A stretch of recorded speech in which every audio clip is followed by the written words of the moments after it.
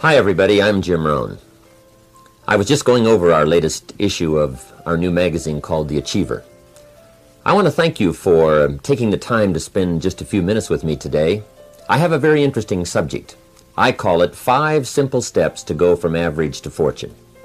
I've been asked to give it in many places for corporations and companies, and uh, now I have the opportunity to share it with you. It's a pretty big subject for someone like me, for my life started out rather modestly, uh, up in farm country in Idaho where I was raised. Uh, I grew up in this little community of some four or five thousand people, and uh, went to high school, graduated, went to college for a year and a half, and uh, then I quit, decided I was smart enough, and uh, got me a job to see if I couldn't make all of my ambitions come true.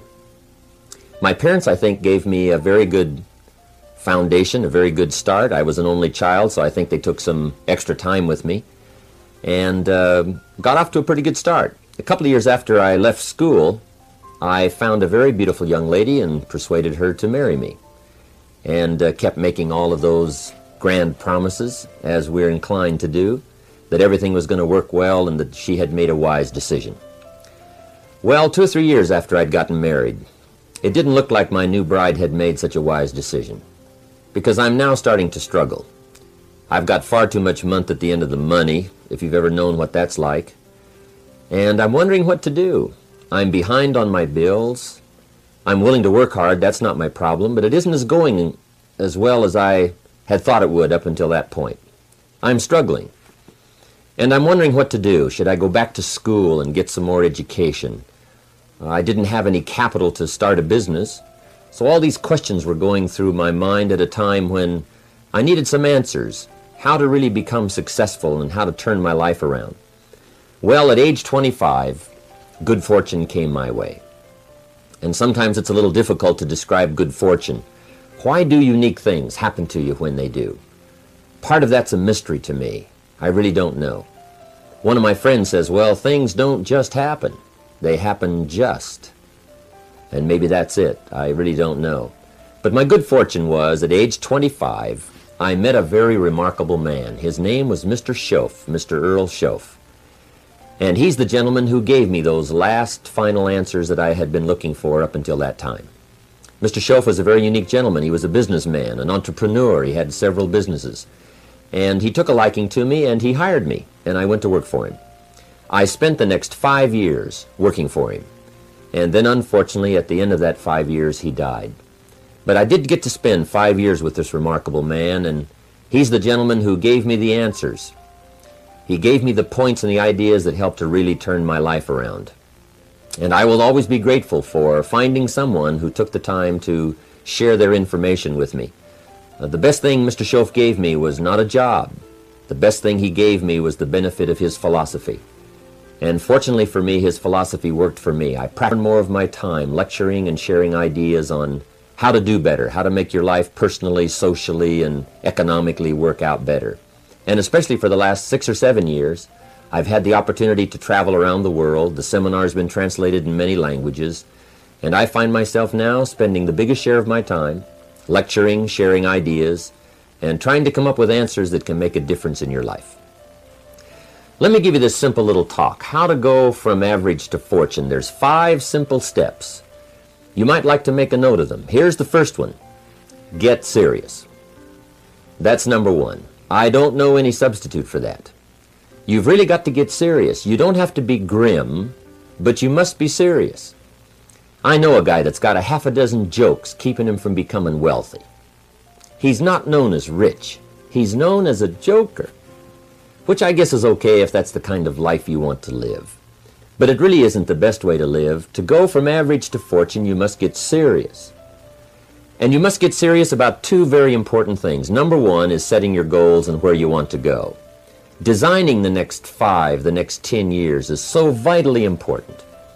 What do you want to do economically? Where do you want to go? What do you want to be? What would you like to have? What would you like to share? How much would you like to earn? How far would you like to go? Those are some major questions to ask. And for that all to work out like you want it to for the next five or ten years, in my personal opinion, you've got to get serious. Then you have to get serious about another important subject. And that important subject is called personal development. Personal development is striving hard to become the kind of person that you want to be. And to become the kind of person you want to be, you've got to work at it. Ten years from now, you will surely become someone. The big question is, who? What are you becoming? And if you go to work on it now, sure enough, in a very short period of time, you can take on a new direction to become the kind of person you want to be.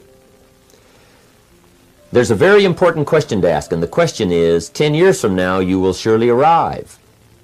And the question is, where? So, to answer the question of where you want to arrive and the kind of person you want to be, you've got to get serious.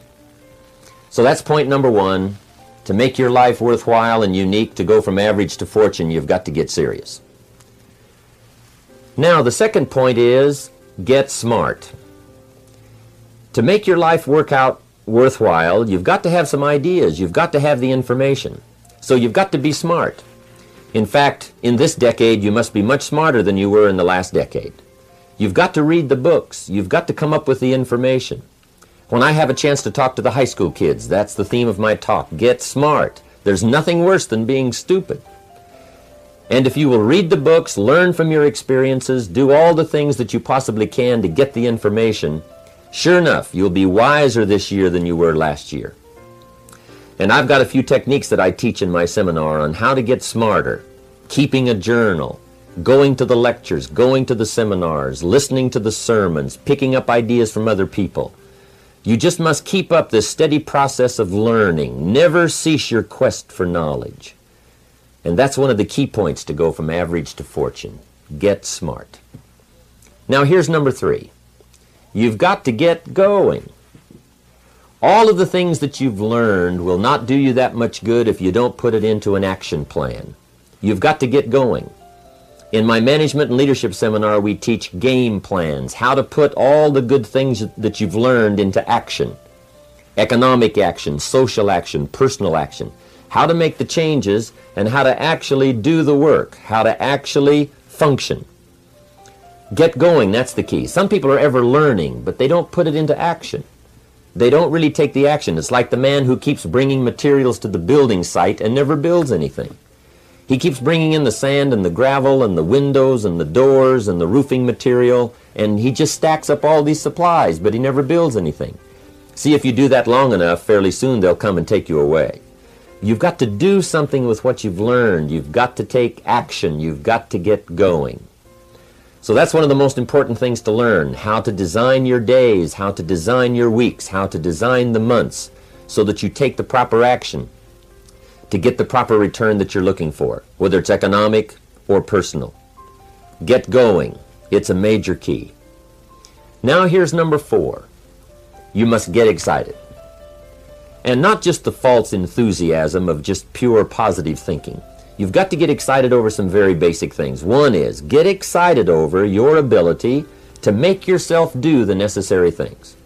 Because discipline is major step one toward personal progress. And anytime a person wishes to, they can make major changes in their life, personally and socially and financially. It doesn't ever have to be the same after today. No telling what you could do today if you really wished to.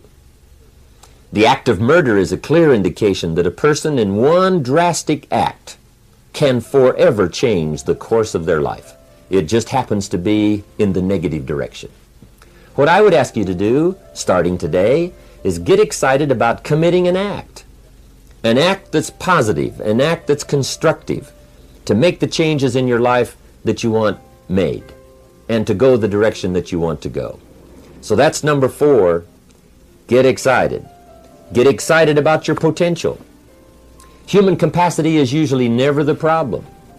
Little children can learn several languages. We can learn to do the most incredible things. All we need to do is take the time to do it. So it's not a matter of capacity. It's a matter of judgment. It's a matter of excitement. It's a matter of will. And it's a matter of wanting to bad enough. So it's pretty exciting to know that any day you wish, you can change your life. Any day you pick out, you can make major changes. It doesn't ever have to be the same again. And that's exciting. Knowing that intellectually and personally, you can actually do the things that will make major changes in your life. That's number four. Here's number five. Number five is get away. I have found, especially in the last 15, 20 years, that there's an important thing called life balance. You've got to learn to get away. You must learn to get away and be alone. Learn to get away and reflect. Learn to get away and learn how to live as well as how to earn. How sad it would be to learn how to earn well but not learn how to live well. You must balance your life. We teach something, especially in my staff, I teach some, something called lifestyle. Lifestyle is how you learn to live your life. Some people have money, but they don't even know how to spend it. They have time, but they don't know how to spend it. Some people are successful, but they don't know how to spend their success. They don't know what to do with it. They don't get joy from it. Rather, they get animosity. A father takes $5, crushes it, and throws it at his son and says, if you need it that bad, take it. Now, it's the same $5, but instead of dispensing it with joy, he dispenses it with animosity. That's the difference in not knowing how to live. It's called lifestyle. Then you've got to take time to cultivate good friends.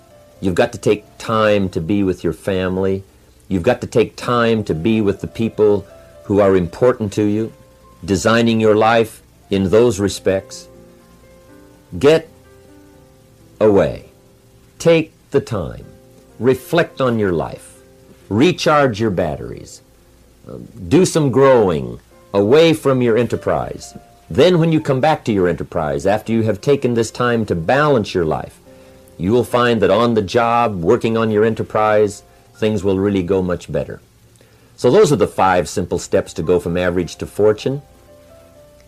Get serious, get smart, get going, get excited, and get away. I hope those points will be valuable for you as you consider them. And I want to thank you for giving me a few minutes of your time to spend just a little time with you. I would invite you to come and attend my seminar.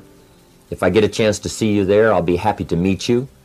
Uh, we usually have several hundred to a thousand people attending the seminar, and I'd love to have you. I think I have some interesting things to share about life and about economics and how to do better. I've learned a lot these last uh, 15, 20 years, and I've capsulized it in one evening. It's from 7 to 11. It's four hours of some very interesting material, and I think you'd find it exciting. I've got some ideas to share. I don't claim they're right, I just claim they're my ideas. But if you'll take the time, if you'll spend an evening with me, I think you'll find it rewarding. And I want to thank you for giving me this uh, few minutes of your time. And for you giving me some of your time, I would just like to sincerely share this with you. Do not walk in front of me. I may not follow. Do not walk behind me. I may not lead. But walk beside me and be my friend. Thank you for listening. So, the key is time is precious. Now, let me give you Bill Bailey's uh, description of time. Life is not just the passing of time. Life is a collection of experiences, their frequency, and their intensity. Life is not just watching the clock tick away. Life is a collection of experiences, their intensity, their frequency. Whatever the span of your life turns out to be, here's what you want to fill it up with experiences and the intensity of those experiences. But now let's talk about the management of time. When should you start the day?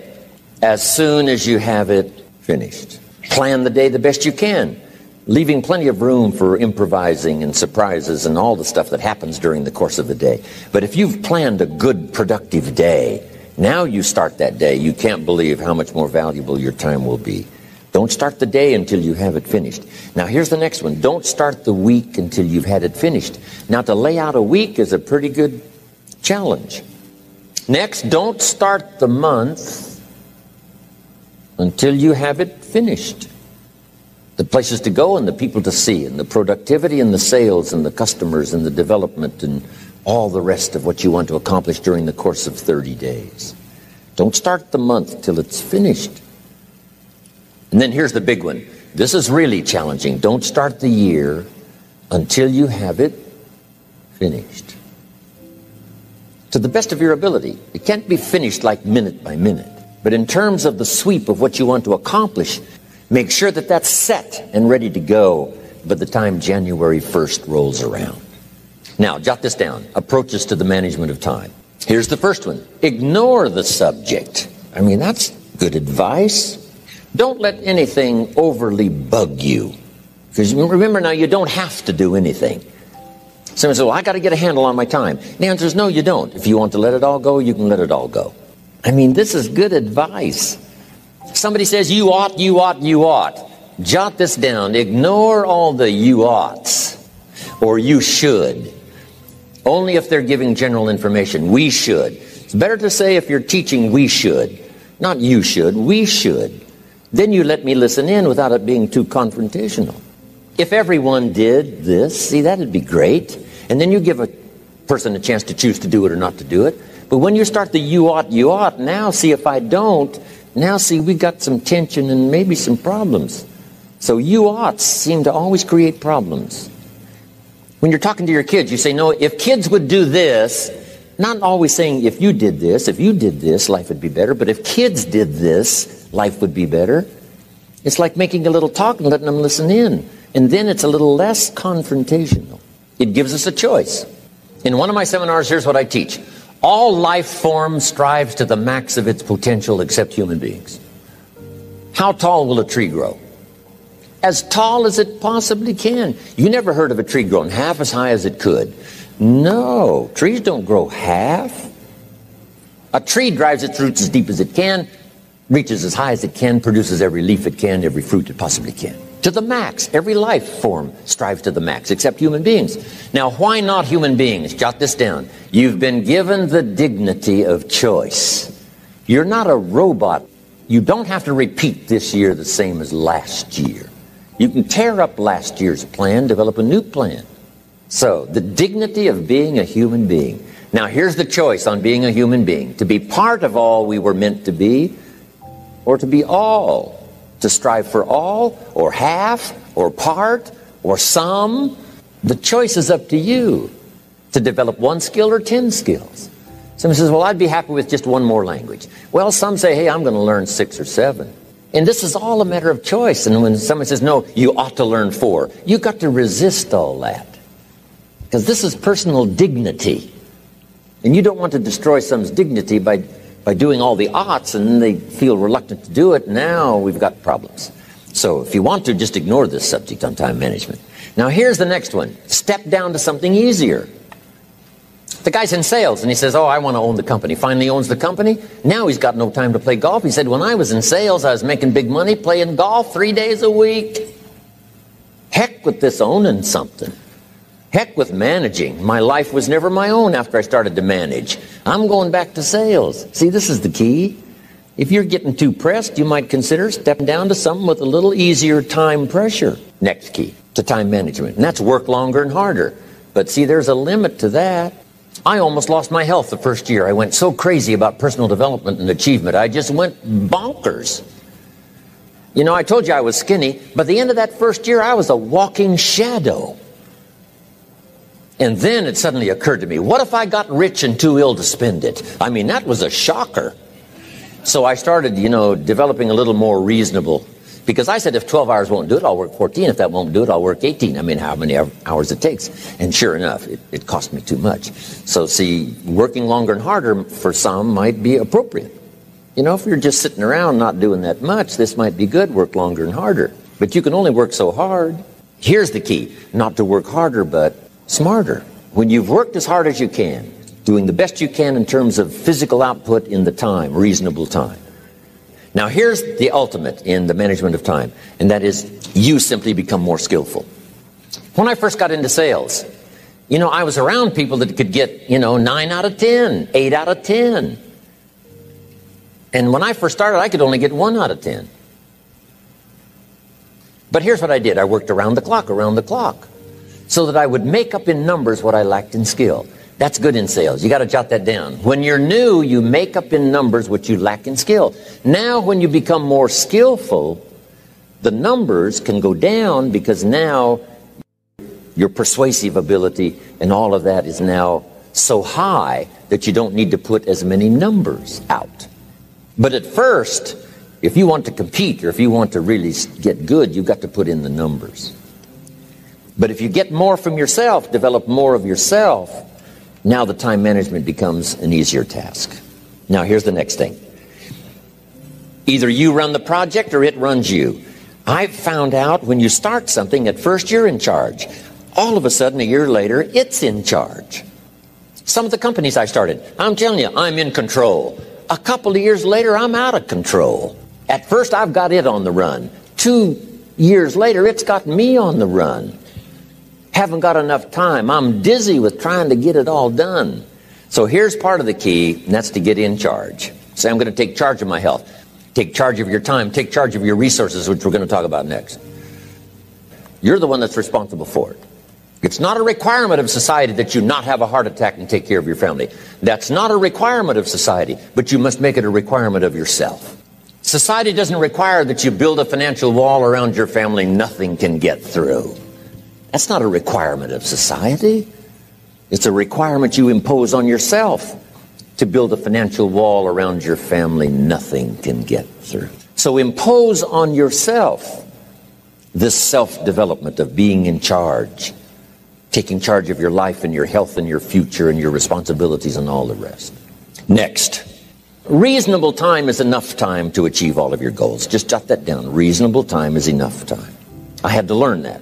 Reasonable time is enough time. Here's why it's not the hours you put in, it's what you put in the hours.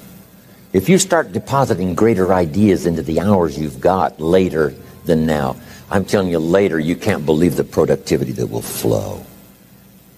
The ideas you can't think of now, a year from now, they'll start to flow. And when you deposit those ideas in the hours you've got, productivity multiplies by 2, 3, 5, 10. Next, time management essential. We've already covered the first one, a written set of goals. And then do priorities on your goals. What's important this week? What's important this month? Here's the next one. Often review. Just go over your goals to make sure that your list is working for you. It's got you inspired. It's got you turned on. Somebody says, How come you're up so early? Say, if you were headed where I'm headed, you'd be up early too. If you were going to meet who I'm going to meet, you'd be up early. If it was going to stack up for you like it's stacking up for me, you'd be getting up early. Here's some more time management essentials. Learn to study what we call majors and minors. You pick up the phone Here's what you must say when you pick up the phone. Is this a major conversation or a minor conversation? If it's minor, a few pleasantries and you're done. If it's major, maybe you've got to make a few notes. So here's the next one. Important conversations, make an agenda before you make the call. Just jot down a little agenda. It's so easy now to just talk out of your head. Did you ever hear a conversation end like this? Like this. Let's see, there was something else. See, you don't look that swift. I can't think of it right now. I'll call you back. See, you look a little incompetent. Let's see, there was something. It escapes me right now. Really? So, have you got this now? Make an agenda before you make a call if it's an important call. Now, later, that saves you all kinds of stuff. So, what's major? What's minor? Now, here's the key on this don't major in minor things. If you take up major time to do minor things, I'm telling you, you'll be behind the curve constantly. Here's what we learn in sales training. What's major time and what's minor time? And if you took a look, if you're in sales and you took a look at a week, you'd say, my gosh, I'm spending 90% of my time on the minor stuff and so little time on the major stuff in the presence of. How many hours in the presence of in my day? How many hours in the presence of during my sales week? Because the time that really counts is in the presence of majors and minors. Here's another key time management essential don't mistake movement for achievement. It's easy to get faked out by being busy. Guy comes home at night all exhausted, falls in the chair and says, Oh, I've been going, going, going. Here's the big question doing what? It's not the going, going, going. Some people are going, going, going, and they're doing figure eights. Progress is small. So don't mistake movement for achievement. Now, here's a big one concentration. I had to learn this. All those years ago, I'm in the shower trying to compose a letter. Found it turns out to be a strange letter. So here's what I learned to do save the work till you get to the office, save the work till you get to the work. Don't try to get to the office on the way to work. On the way to work, enjoy the way. In the shower, enjoy the shower. Then go to work when you get to work. I found this to be helpful. Concentration. Here's another big one. Learn to say no. I'm telling you, in such a social society we have now, it's so easy to try to be a nice person, saying yes, yes, yes to everything. Find yourself overloaded. Now you got to call and make the, well, gosh, you know, all the time it takes to back out of something that you said, said yes to too quickly. Here's what might be better. I don't think so, but if that changes, I'll call you. Little things you can use not to commit, overcommit yourself. My friend Ron Reynolds says, don't let your mouth overload your back. It's a good one. Now, here's a big one on time management. When you work, work. When you play, play. Don't mix the two. Don't work at play. I used to take my family to the beach and I would bring my briefcase. I learned not to do that. Or at the beach, I'm saying I should be at the office. I should be at the office. Now my family's upset because I'm at the beach and I'm thinking office, office, office. Now when I'm at the office, I'm thinking what? I got to get my family to the beach, the beach, the beach. So things are not going too well at the office because I'm thinking beach, and things are not going too well at the beach because I'm thinking office. Here's what I learned to do. At the beach, be at the beach. At the office, be at the office. When you work, work. When you play, play. Don't mix the two. Don't work at play. Now here's one of the most important ones. Don't play at work. Work is too serious. But I'm telling you, you got to be serious about work because you're parting with a piece of your life for the work you do. Your work costs you a piece of your life. Here's what it's called serious business. Not grim, not unhappy, but serious. Here's another key phrase all work is good. You may not like your job, but if it's the stepping stones to get you to where you want to, to go, you got to appreciate your job. You don't have to have a passion for your job. Here's the ultimate passion a passion for incredible success in every department of my life. That's the passion. But don't look down on some menial job you have to do to finally get you to where you want to go. No job is menial. Menial. No job is not, no, every job is noble. Training life for pay, making a contribution to society. Next, analyze how you are. And if you have some weaknesses, if you can't, doesn't seem like you can change, here's the key get it covered. I used to keep promising myself I'd keep the books, keep the books, keep the books. Finally, I gave that up. And back then, it only took me an extra 50, 60 bucks a month for some accountant to keep the books. I said, no, I'm going to save the 50 bucks. You can't believe what I started losing in productivity because I tried to save the 50 bucks. So the key is a lot of the time you can stay like you are, but just make sure you get it covered. Next, Beware of the telephone and all other systems of communication, especially the telephone at home and systems of communication at home. And here's one of the best lines I've got for you for the weekend. Let all communication systems serve you, but don't let them intrude. Here's the next one. Read all the books. You know, I've only got a few notes here on time management. But if you've got some particular challenges, you run a big organization, a big corporation, you've got some challenges, there's plenty of books. Now, here's what's next. Just be more alert to the things that might be stealing your time. Here's why time is like capital. You can't let someone steal your seed corn. You can't let someone steal your capital. And you can't let someone steal your time. You must designate your time. And some of the time that you designate, you must not let anyone steal. Casual time, you might let someone intrude and steal a little bit and take a little bit, but not serious time. Next, one of the great time management savers is to learn to ask questions up front. Sometimes you talk to somebody for an hour, and then you ask questions and find out if you would have asked those questions up front, you could have saved yourself an hour. Asking questions up front helps you to get to the problem now. But if you just launch into some discourse, you might waste 30 minutes, waste an hour, when here's what you should have been talking about. After you finished an hour, you say, John, what's really the problem? He said, well, it's something personal. See, that's what you should have been talking about this whole hour. Now, here's the last one thinking on paper, and that's to keep a journal. One of the things I'm known for around the world, have been now for 39, 40 years, is keeping a journal. Now, my journal is not a, you know, it's not necessarily a it's not like a diary. It might be part diary. You know, I'm flying over Ireland and I, I write down a few little things that impress me. Uh, today I met this person. Wow, what an extraordinary event.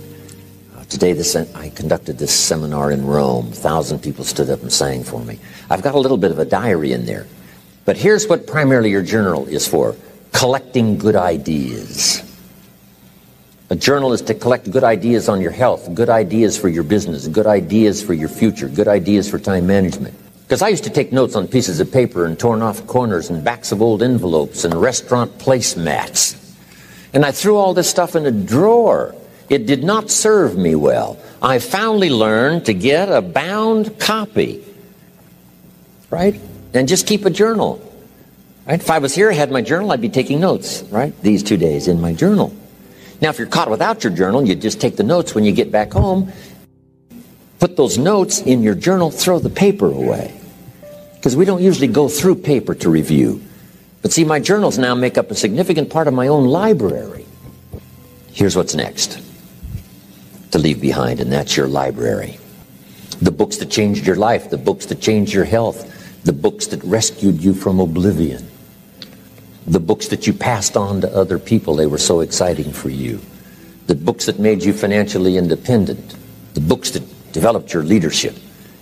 The books that gave you wisdom to ponder when things were tough. The books that got you through the winter. The books that helped you to plant in the spring and harvest in the fall. What a treasure to leave behind. If you do that, here's what's for sure. Your books will be more valuable than your furniture.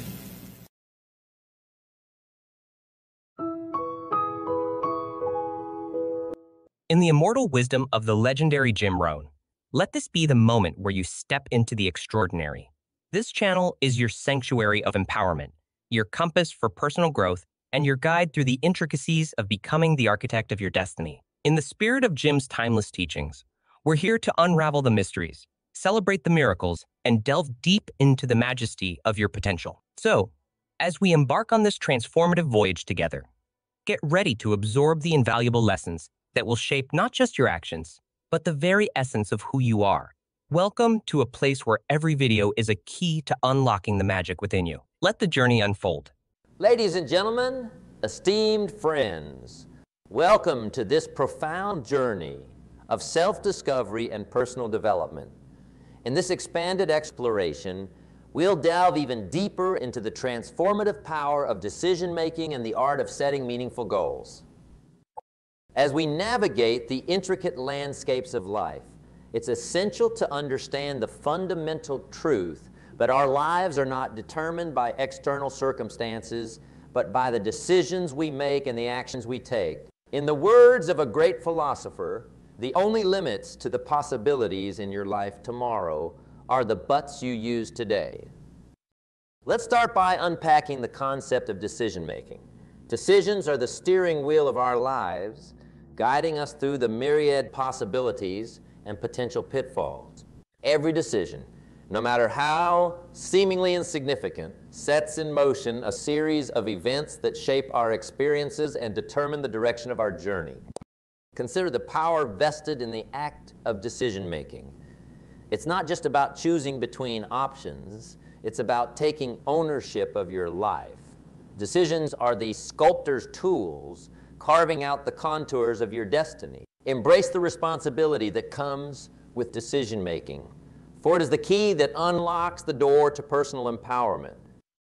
Now let's transition to the art of goal, setting a cornerstone of the transformative journey. Goals are not mere checkpoints on life's journey. They are the compass points that guide us toward our desired destinations. The process of setting goals is not just a strategic exercise. It's a profound act of self-discovery and a commitment to personal growth. Consider the significance of setting meaningful goals that align with your values and aspirations. A well-defined goal serves as a lighthouse, cutting through the fog of uncertainty and providing clarity on the path ahead. It's not merely about achieving an outcome. It's about becoming the person capable of realizing that outcome. As you embark on the journey of setting goals, remember that the quality of your goals influences the quality of your life. Aim for goals that resonate with your authentic self, goals that stretch your capabilities and invite you to transcend your current limitations. The transformative journey is not just about reaching destinations. It's about evolving into the person capable of conquering new horizons. Now, let's explore the psychology behind effective goal setting. Goals, when crafted with intention and clarity, become powerful drivers of motivation. The process of setting goals ignites a sense of purpose, infusing your actions with meaning and direction. When you have a compelling why behind your goals, the how becomes a journey of self-discovery and growth. Consider incorporating the SMART criteria into your goal-setting process. Specific, measurable, achievable, relevant, and time-bound. Specific goals provide clarity.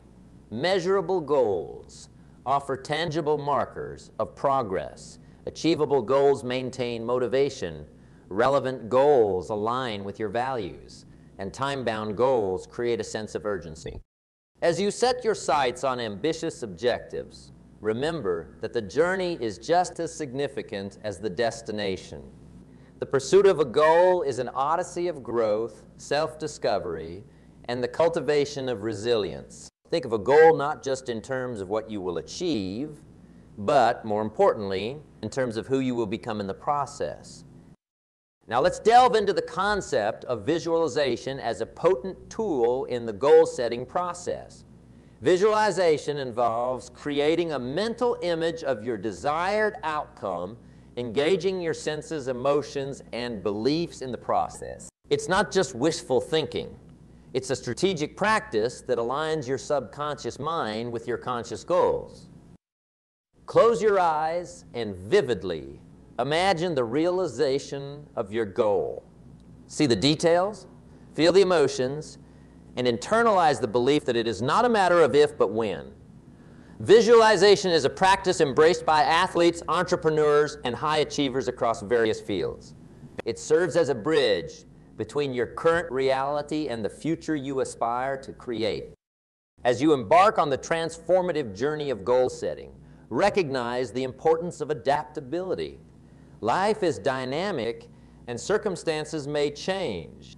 Embrace the flexibility to adjust your goals when necessary while staying committed to the essence of your vision. The transformative journey is not a rigid march, but a dance with the rhythm of life.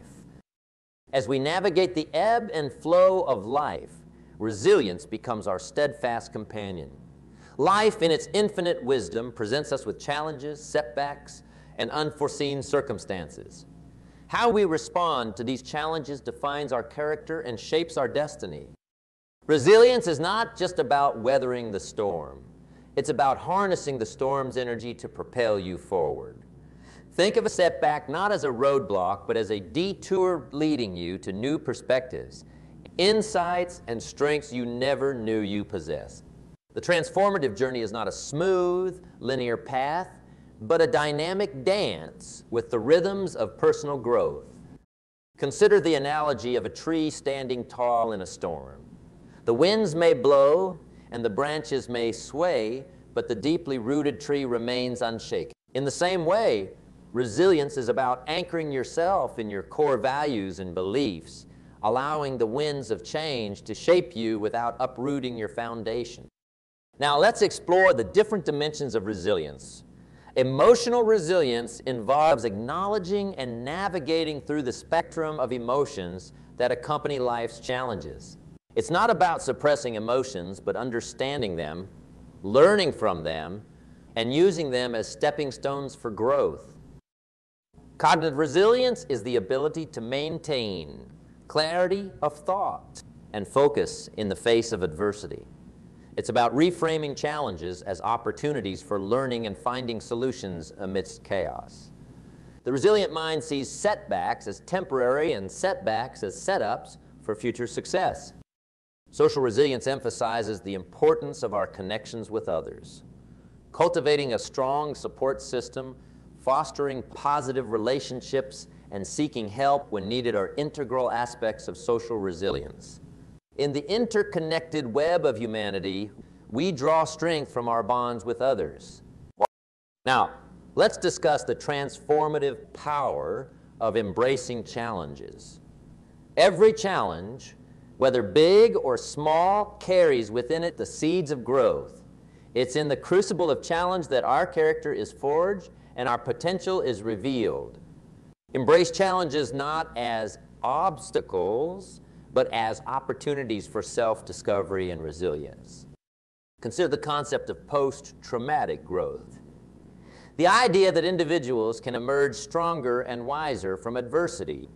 It's not the absence of challenges that marks a successful journey, but the ability to overcome them with grace and determination. Resilience, therefore, is not just a reactive response. It's a proactive approach to life's uncertainties.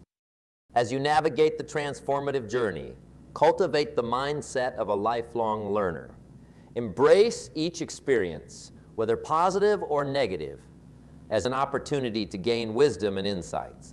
The transformative journey is a continuous process of evolution, a dynamic dance with the rhythms of personal growth. Consider the analogy of a sculptor chiseling away at a block of marble. With each strike, a piece of the unnecessary is removed, revealing the true beauty within. Similarly, with every goal pursued and every obstacle overcome, we chip away at the layers that obscure our authentic selves. The transformative journey is a continuous process of sculpting, refining, and revealing the masterpiece that is you. Now let's explore the interconnectedness of resilience with adaptability. Resilience is not a rigid resistance to change, but a flexible response to it. Life is dynamic and circumstances may embrace the adaptability to adjust your sails while staying true to the course of your values and aspirations. Our habits, whether constructive or detrimental, wield significant influence over the trajectory of our lives.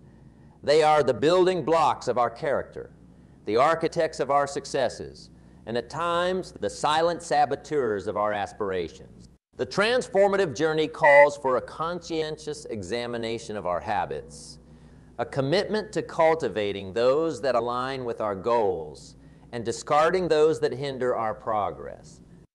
Consider the profound truth that your habits are not just actions.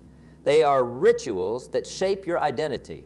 The habits you cultivate on a daily basis, whether consciously or unconsciously, contribute to the narrative of who you are. The transformative journey invites you to be the author of a story characterized by purposeful habits that align with your values and aspirations.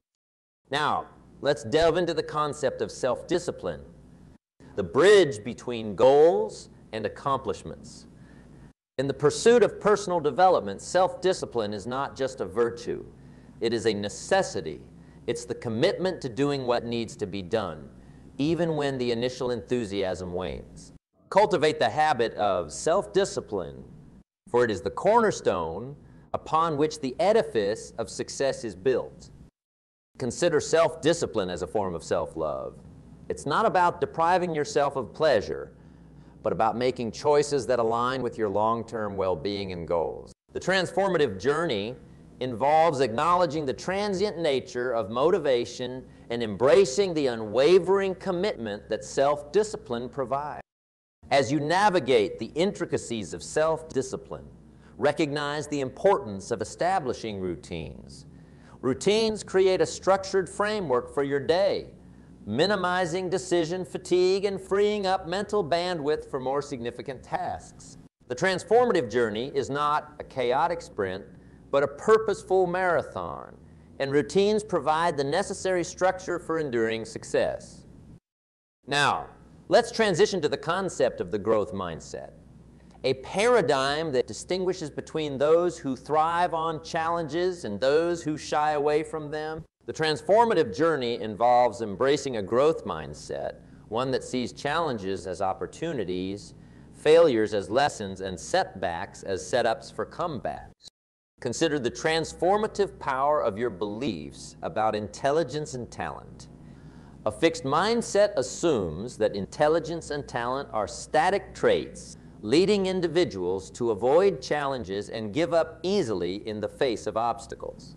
On the other hand, a growth mindset views intelligence and talent as qualities that can be developed through dedication and hard work, fostering a love for learning and resilience in the face of adversity. Now, let's explore the role of affirmations in shaping your mindset. Affirmations are not mere words. They are declarations of intent that have the potential to reprogram your subconscious mind. Affirm daily that you are capable, resilient, and destined for greatness. As you sow the seeds of positivity in your mind, you will reap the fruits of a mindset that attracts success and abundance. Consider the transformative journey as a continuous process of unlearning and relearning. The growth mindset invites you to challenge limiting beliefs, embrace failures as stepping stones to success, and view effort as the path to mastery. As you embody a growth mindset, challenges become opportunities for growth, and setbacks become launch pads for future achievements. In the grand symphony of life, the transformative journey is not a solitary endeavor, but a communal experience. Consider the impact of your habits, self-discipline, and growth mindset on those around you. As you cultivate positive habits, demonstrate self-discipline, and embody a growth mindset, you become a source of inspiration for those who witness your journey. Think about the ripple effect of your transformative journey on your community and beyond. The principles of personal development, when embraced collectively, have the potential to create a ripple effect of positive change. Engage in initiatives that uplift, support, and inspire, recognizing that the transformative journey is not just about personal growth. Consider the subtle, contributing to the well-being of the world around that shapes us. our attitudes, beliefs, and aspirations. The transformative journey invites us to be discerning about the company we keep, the books we read, and the ideas we entertain. Surround yourself with individuals who uplift, inspire, and challenge you to reach new heights. Reflect on the individuals who have had a significant influence on your life. What qualities do they possess? How they shaped your perspective and choices? The transformative power of positive influence lies not only in the external guidance it provides, but in the internal transformation it sparks. As you engage with positive influences, be mindful of the reciprocal impact you may have on others. Now let's explore the transformative journey through the lens of continuous learning, a commitment to intellectual and personal growth. In a world that is constantly evolving, the commitment to lifelong learning is not just an asset, but a pre Stay curious, explore new horizons, and be open to the infinite possibilities that unfold when you embrace the role of a perpetual student. Consider the transformative power of learning from diverse sources. Books, podcasts, courses, and conversations. Each avenue of learning contributes to the richness of your understanding. The transformative journey involves breaking out of intellectual comfort zones challenging preconceived notions, and embracing the expansive world of knowledge that awaits. As we navigate the intricate landscapes of personal development, let's acknowledge the importance of gratitude. Gratitude is not just a pleasant sentiment, but a transformative force that enhances our well-being and attracts more of what we appreciate into our lives. Cultivate the habit of gratitude for it is the alchemy that turns ordinary moments into extraordinary blessings. Now let's delve into the concept of the perpetual student mindset, an approach to life that recognizes every experience as an opportunity to learn. The transformative journey is not about reaching a destination of knowledge, but about adopting a mindset that views the journey itself as a continuous education. As you embody the perpetual student mindset, Every challenge becomes a lesson, every setback an opportunity for growth. Consider the transformative power of curiosity. The perpetual student mindset is fueled by an insatiable curiosity about the world and a genuine interest in understanding diverse perspectives. Ask questions, seek answers, and approach every situation with the curiosity of a child discovering the world for the first time. Now let's explore the profound impact of mentorship on the transformative journey. A mentor, whether in person or through the wisdom found in books, serves as a guide, a source of inspiration, and a repository of knowledge. Seek out mentors who align with your values and aspirations, individuals whose journeys resonate with your own. As you engage in mentorship, consider the reciprocal nature of the relationship. The transformative journey is not just about receiving guidance, but about becoming a mentor yourself. Share your insights, experiences, and lessons learned with those who are on earlier steps of their journeys. In the grand tapestry of personal development, mentorship weaves threads of wisdom and experience that connect generations. Consider the impact of your journey on those around you. As you ascend your metaphorical mountains, you inspire others to embark on their paths of self-discovery. Your resilience becomes a beacon of hope, and your determination serves as a roadmap for others navigating their paths. The transformative journey is not solitary. It ripples through the fabric of communities, leaving a legacy of inspiration and empowerment. Reflect on the communities you are a part of, be it your family, workplace, or broader social circles. The transformative power of community impact lies in recognizing the interconnectedness of our journeys. Your actions, choices, and contributions influence the collective well-being of those around you. Engage in initiatives that uplift, support, and inspire, recognizing that the transformative journey is not just about personal growth, but about contributing to the well-being of the world around us. Now let's explore the transformative power of legacy, the narrative that continues beyond our individual journeys. Your transformative journey is not just about the present moment. It's about the stories you weave, the values you embody, and the impact you leave on future generations. Consider the legacy you wish to create and the principles you want to pass down as a beacon of guidance. Legacy is not about the accumulation of wealth or fame, but about the imprint you leave on the hearts and minds of others. The transformative journey involves aligning your actions with your values, contributing to causes that resonate with your beliefs, and leaving behind a legacy that reflects the essence of who you are. Now let's delve into the transformative power of leadership. Leadership is not a title, but a responsibility to inspire guide, and empower those within your sphere of influence.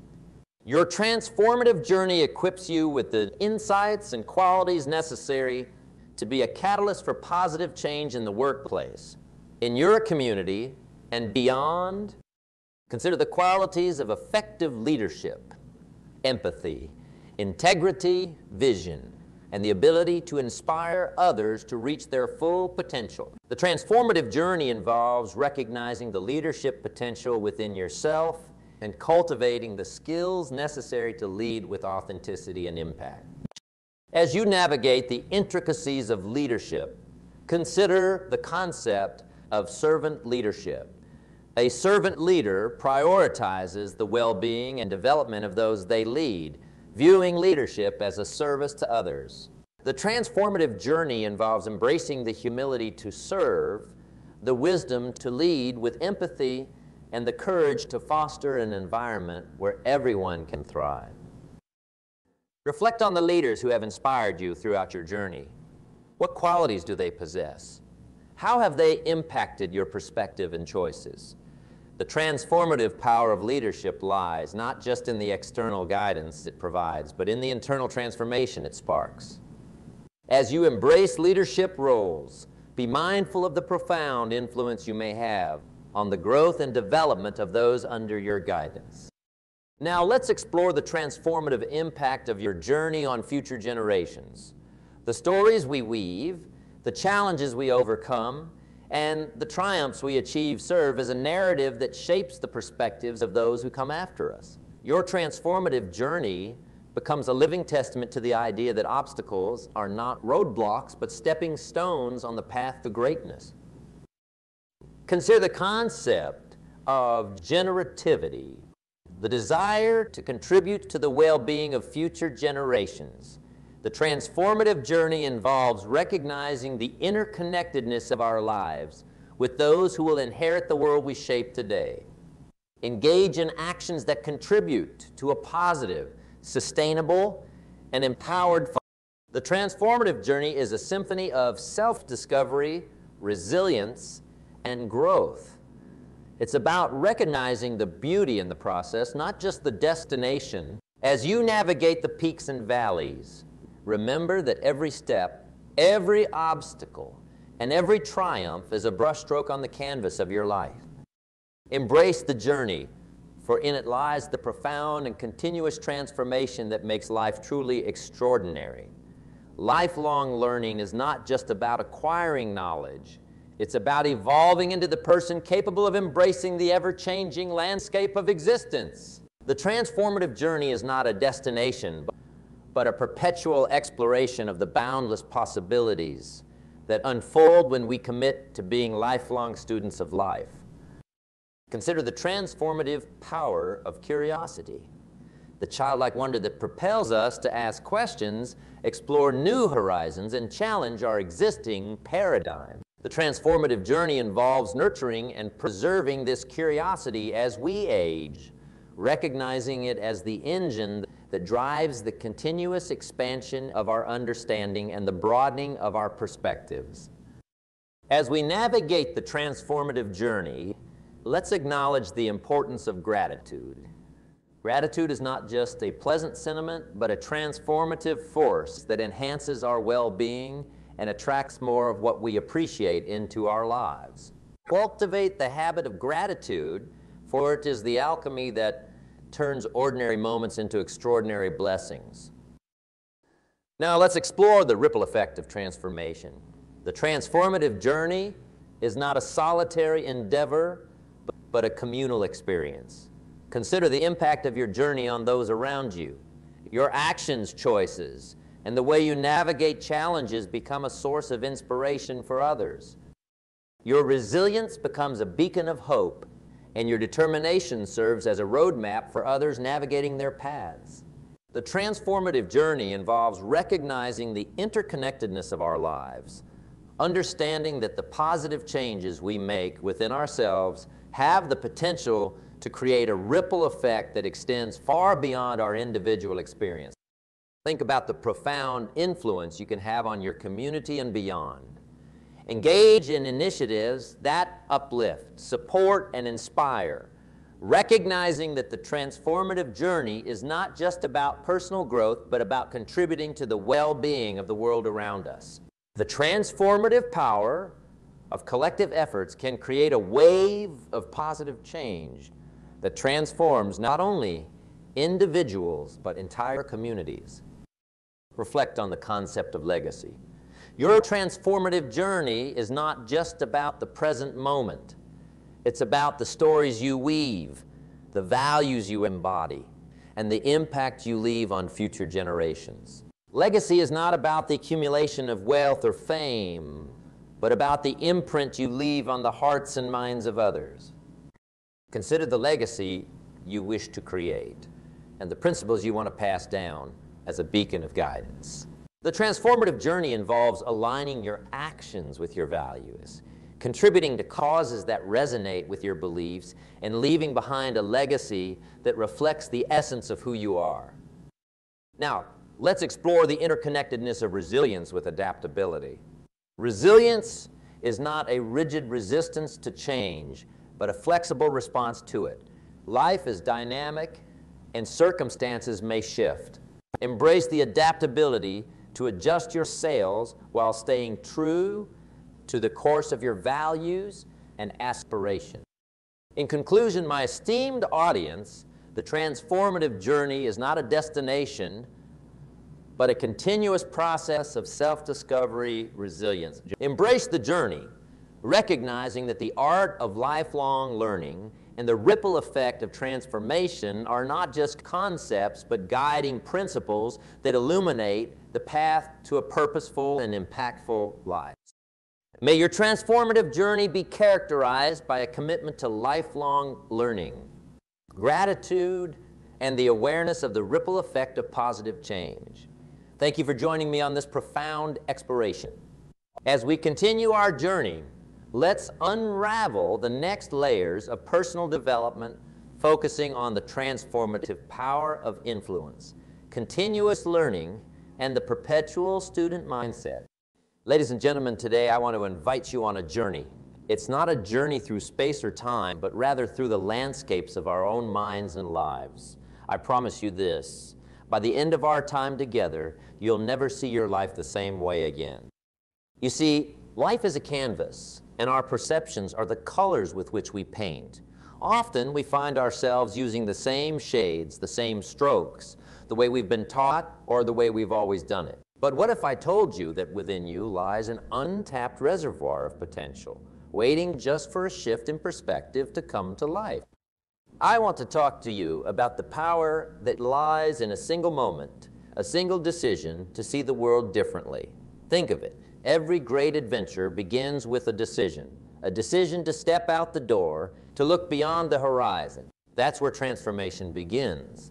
It begins the moment you decide that the status quo is no longer enough, that the familiar paths no longer lead to the destinations you yearn to reach. Throughout history, there have been individuals, just like you and me, who have encountered these crossroads.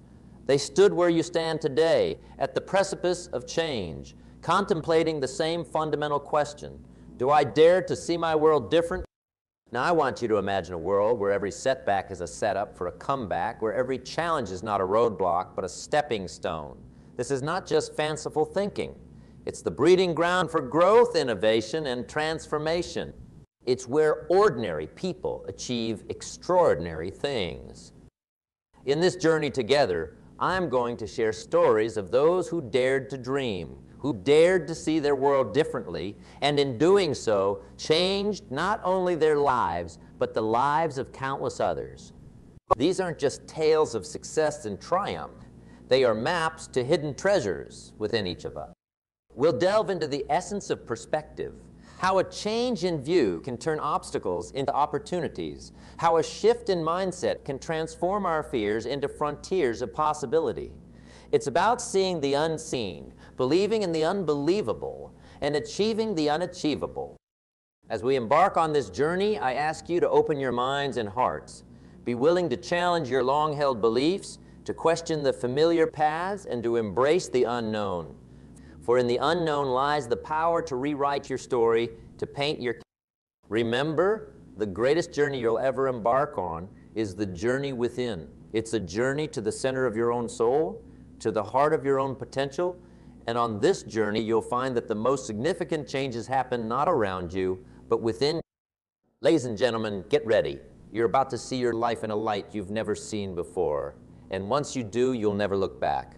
The journey to seeing your life new starts now. Let's take that first step together. Let's delve a bit deeper into this concept. It's often said that life is 10 what happens to us and 90 is how we react to it.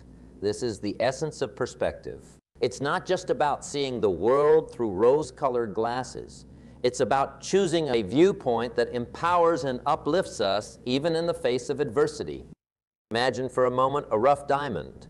To an untrained eye, it may appear unremarkable, just another stone. But to a skilled jeweler, it's a gem of incredible value waiting to be polished and revealed.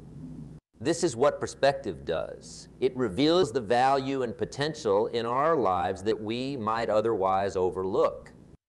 Now let's talk about the power of a positive outlook. Positivity is not about ignoring life's difficulties. It's about facing them with a mindset that allows for growth and resilience. It's about seeing the rain, but also looking for the rainbow that follows.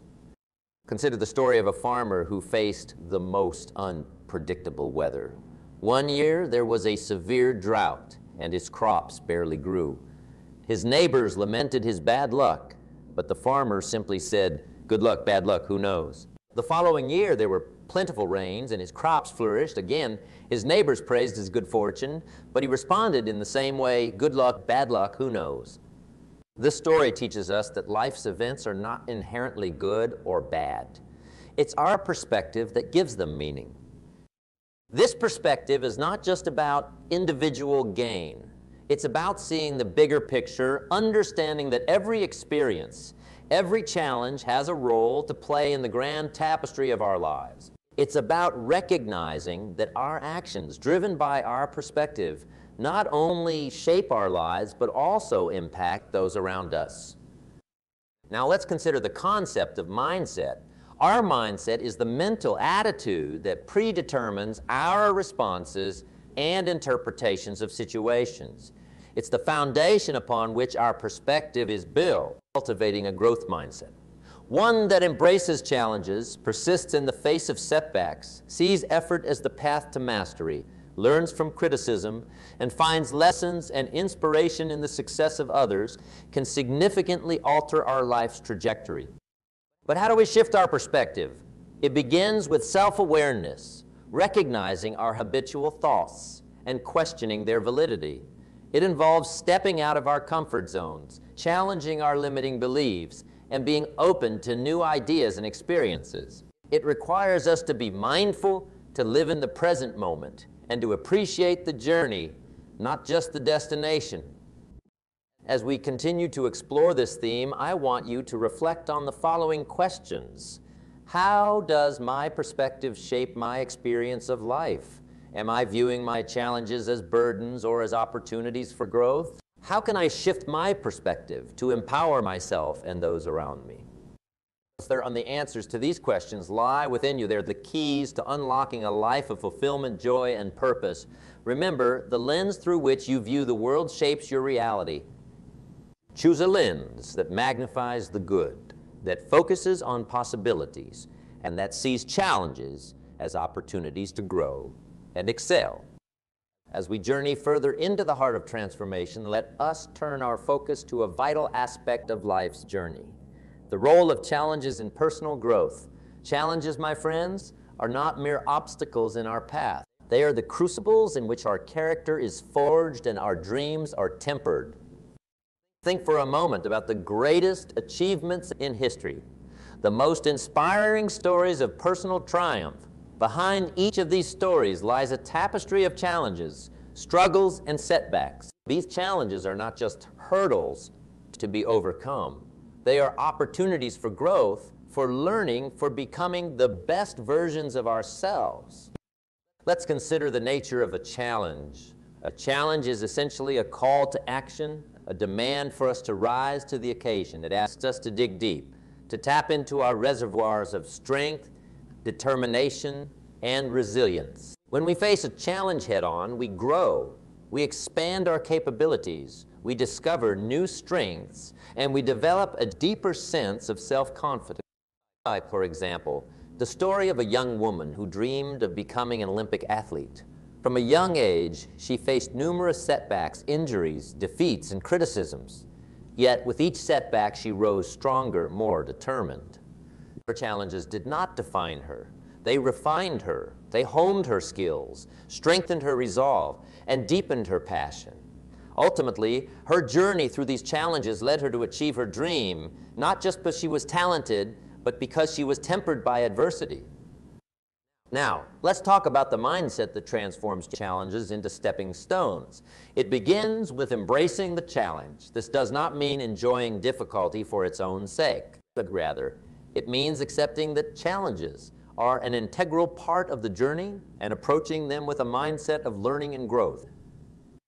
Each challenge we face is a question posed by life, and how we answer that question determines our path forward. Do we shrink back in fear and doubt, or do we step forward with courage and determination? The choice is ours, and it is in making this choice that we grow. Furthermore, challenges teach us the value of perseverance. There's a saying that the darkest hour is just before dawn. In the midst of our struggles, it can be hard to see the light at the end of the tunnel. But it is in persevering through these dark hours that we witness the breaking of a new dawn, the dawn of our success and achievement. In embracing challenges, it is also crucial to cultivate resilience. Resilience is not about never falling. It's about learning how to rise every time we fall. It's about building the mental and emotional toughness to withstand the storms of life. And like any muscle, resilience grows stronger with use. As we reflect on the role of challenges in our lives, let us also consider the importance of perspective, which we discussed earlier. Our perspective on challenges can make all the difference. When we view challenges as opportunities for growth, we open ourselves to the possibilities of learning and improvement. We transform our struggles into stories of triumph. In this journey, you will encounter challenges, both big and small. When you do, I encourage you to ask yourself, what can I learn from this? How can this challenge make me stronger, wiser, and more capable? Approach each challenge with a mindset of growth, and you will turn your battles into victories. As we continue our journey, remember this. Challenges are not the end of the road. They are the road. They are the path through which we travel to reach our highest potential. Embrace them, learn from them, and let them lead you to heights you never thought possible. As we continue on this path of transformation and growth, let us turn our attention to a critical element of personal development. The journey of self-discovery, this journey is not just a path we walk. It is the essence of our existence, the core of our, it's about uncovering who we truly are, what we truly want, and what we're truly capable of achieving. Self-discovery is a voyage into the deepest waters of our souls, a quest to uncover the treasures that lie within. It's a journey that asks us to be brave, to question, to explore, and most importantly, to listen, to listen to the inner voice that whispers our true desires and aspirations. Why is self-discovery so vital? Because without knowing who we are, we can never truly know what we want or how to achieve it. We wander through life, driven by external expectations and societal norms, often losing touch with our inner selves. But when we embark on this journey of self-discovery, we begin to align our external world with our internal truths. We start to live lives that are not just successful on the surface, but deeply fulfilling at the core. Consider the story of an artist who, for years, worked in a corporate job, successful by conventional standards, but deeply unfulfilled. It was only when she took the time to explore her passion for art that she discovered her true calling. This journey of self-discovery led her to a career that was not only financially rewarding, but also immensely satisfying to her soul. Her story teaches us that when we align our actions with our true selves, we unlock a level of success and fulfillment that is otherwise unreachable. The journey of self-discovery is not always easy. It requires us to confront our fears, to challenge our limiting beliefs, and to step out of our comfort zones, but it is in these moments of discomfort that we find our greatest strengths and our truest selves. Self-discovery also involves exploring our values and beliefs. What do we stand for? What is non-negotiable in our lives?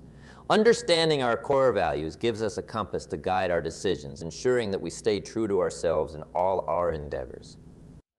Another crucial aspect of self-discovery is recognizing and embracing our unique talents and abilities. Each of us has a unique set of skills and talents, a unique contribution to make to the world. When we discover and harness these gifts, we not only enrich our own lives, but also contribute to the betterment of those around us. How do we embark on this journey of self-discovery? It starts with introspection. Take time to reflect on your experiences, your reactions, your dreams, and your fears. Journaling, meditation, and quiet contemplation are powerful tools in this process. It also involves seeking new experiences. Step out of your routine, try new things, meet new people. Each new experience is an opportunity to learn more about yourself to uncover aspects of your character and interests that you may not have been aware of. Throughout this journey, be patient with yourself. Self-discovery is not a destination. It's a lifelong process. It's about continually evolving, growing, and adapting. Embrace each discovery about yourself as a step towards a more authentic and fulfilling life. As we move forward, remember this. The journey of self-discovery is the most important journey you will ever undertake. It's the journey to the heart of who you are. And when you find yourself, you find the key to unlocking your greatest potential, your deepest passions, and your highest achievements. As we venture deeper into our exploration of transformation and growth, we arrive at a pivotal aspect of this journey the importance of embracing change and taking decisive action. Life, in all its complexity and beauty, is in a constant state of flux. It is an ever evolving tapestry of experiences, opportunities, and challenges. To navigate this dynamic landscape successfully, we must not only accept change, but embrace it as a catalyst for growth and transformation. Consider for a moment the nature of change. It is often met with resistance, fear, and uncertainty. We cling to the familiar, to the comfort of our routines and known outcomes. However, it is in stepping out of our comfort zones, in embracing the unknown, that we uncover our true potential. Change challenges us to adapt, to grow, and to reinvent ourselves. It is the soil in which the seeds of personal growth are. Take the story of a successful businessman who, after years of climbing the corporate ladder, found himself at a crossroads. The path he had been traveling no longer brought him fulfillment. Despite the risks, he chose to embrace change to follow his passion for environmental conservation. This decision led him to start a venture that not only became financially successful, but also made a significant positive impact on the planet. His story is a testament to the power of embracing change and the extraordinary possibilities that lie on the other side of but embracing change is only half the equation. The other equally important half is taking action. Dreams and aspirations, no matter how inspiring, remain mere fantasies without action. It is through action that we turn our visions into reality, our potential into achievement. Action, however, requires courage. It requires stepping into the unknown, taking risks, and being willing to face failure. Remember, every great achievement in history was once considered impossible until someone dared to take that first. It was the action, the willingness to move forward despite the odds, that turned the impossible. Consider the remarkable journey of an athlete who, despite facing numerous injuries and setbacks, never gave up on her dream to compete at the highest level. Her relentless pursuit, her unwavering commitment to take action every day, led her to not only compete, but also to triumph in the international arena. Her story is a powerful reminder that persistent, consistent action is the key to achieving our goals. As we embrace change and take action, it's essential to cultivate a mindset of resilience and adaptability. Change is often unpredictable, and our paths to success are rarely linear we must be prepared to adjust our course, to learn from our experiences, and to keep moving forward, even when the road gets tough. Taking action also means being proactive in our lives. It's about creating opportunities rather than waiting for them to come to us. It's about being the architect of our destiny, not just a passenger on the journey of life. In this pursuit, remember the importance of setting clear goals. Goals give our actions direction and purpose. They provide a roadmap to guide our journey and a measure to gauge our progress. But these goals should not be set in stone. They should be flexible, adaptable to the ever-changing dynamics of our lives. As we reflect on the power of embracing change and taking action, let us also remember the role of discipline and consistency. Success is not achieved in a day, but over days, weeks, months, and years of consistent effort. It's the small daily actions compounded over time that lead to monumental results. As we draw near the close of our time together, let's reflect on the journey we've embarked upon. We've explored the transformative power of perspective, the invaluable role of challenges in personal growth, the enlightening path of self-discovery, and the vital importance of embracing change and taking action. Each of these elements, woven together, creates a tapestry of transformation, a blueprint for a life of fulfillment, purpose, and achievement. Now we stand at a pivotal moment, the moment of transformation. This is not just a point in time. It's a shift in being, a new way of seeing the world and ourselves within it. It's the moment when we realize that we have the power to shape our destiny, to turn our dreams into reality.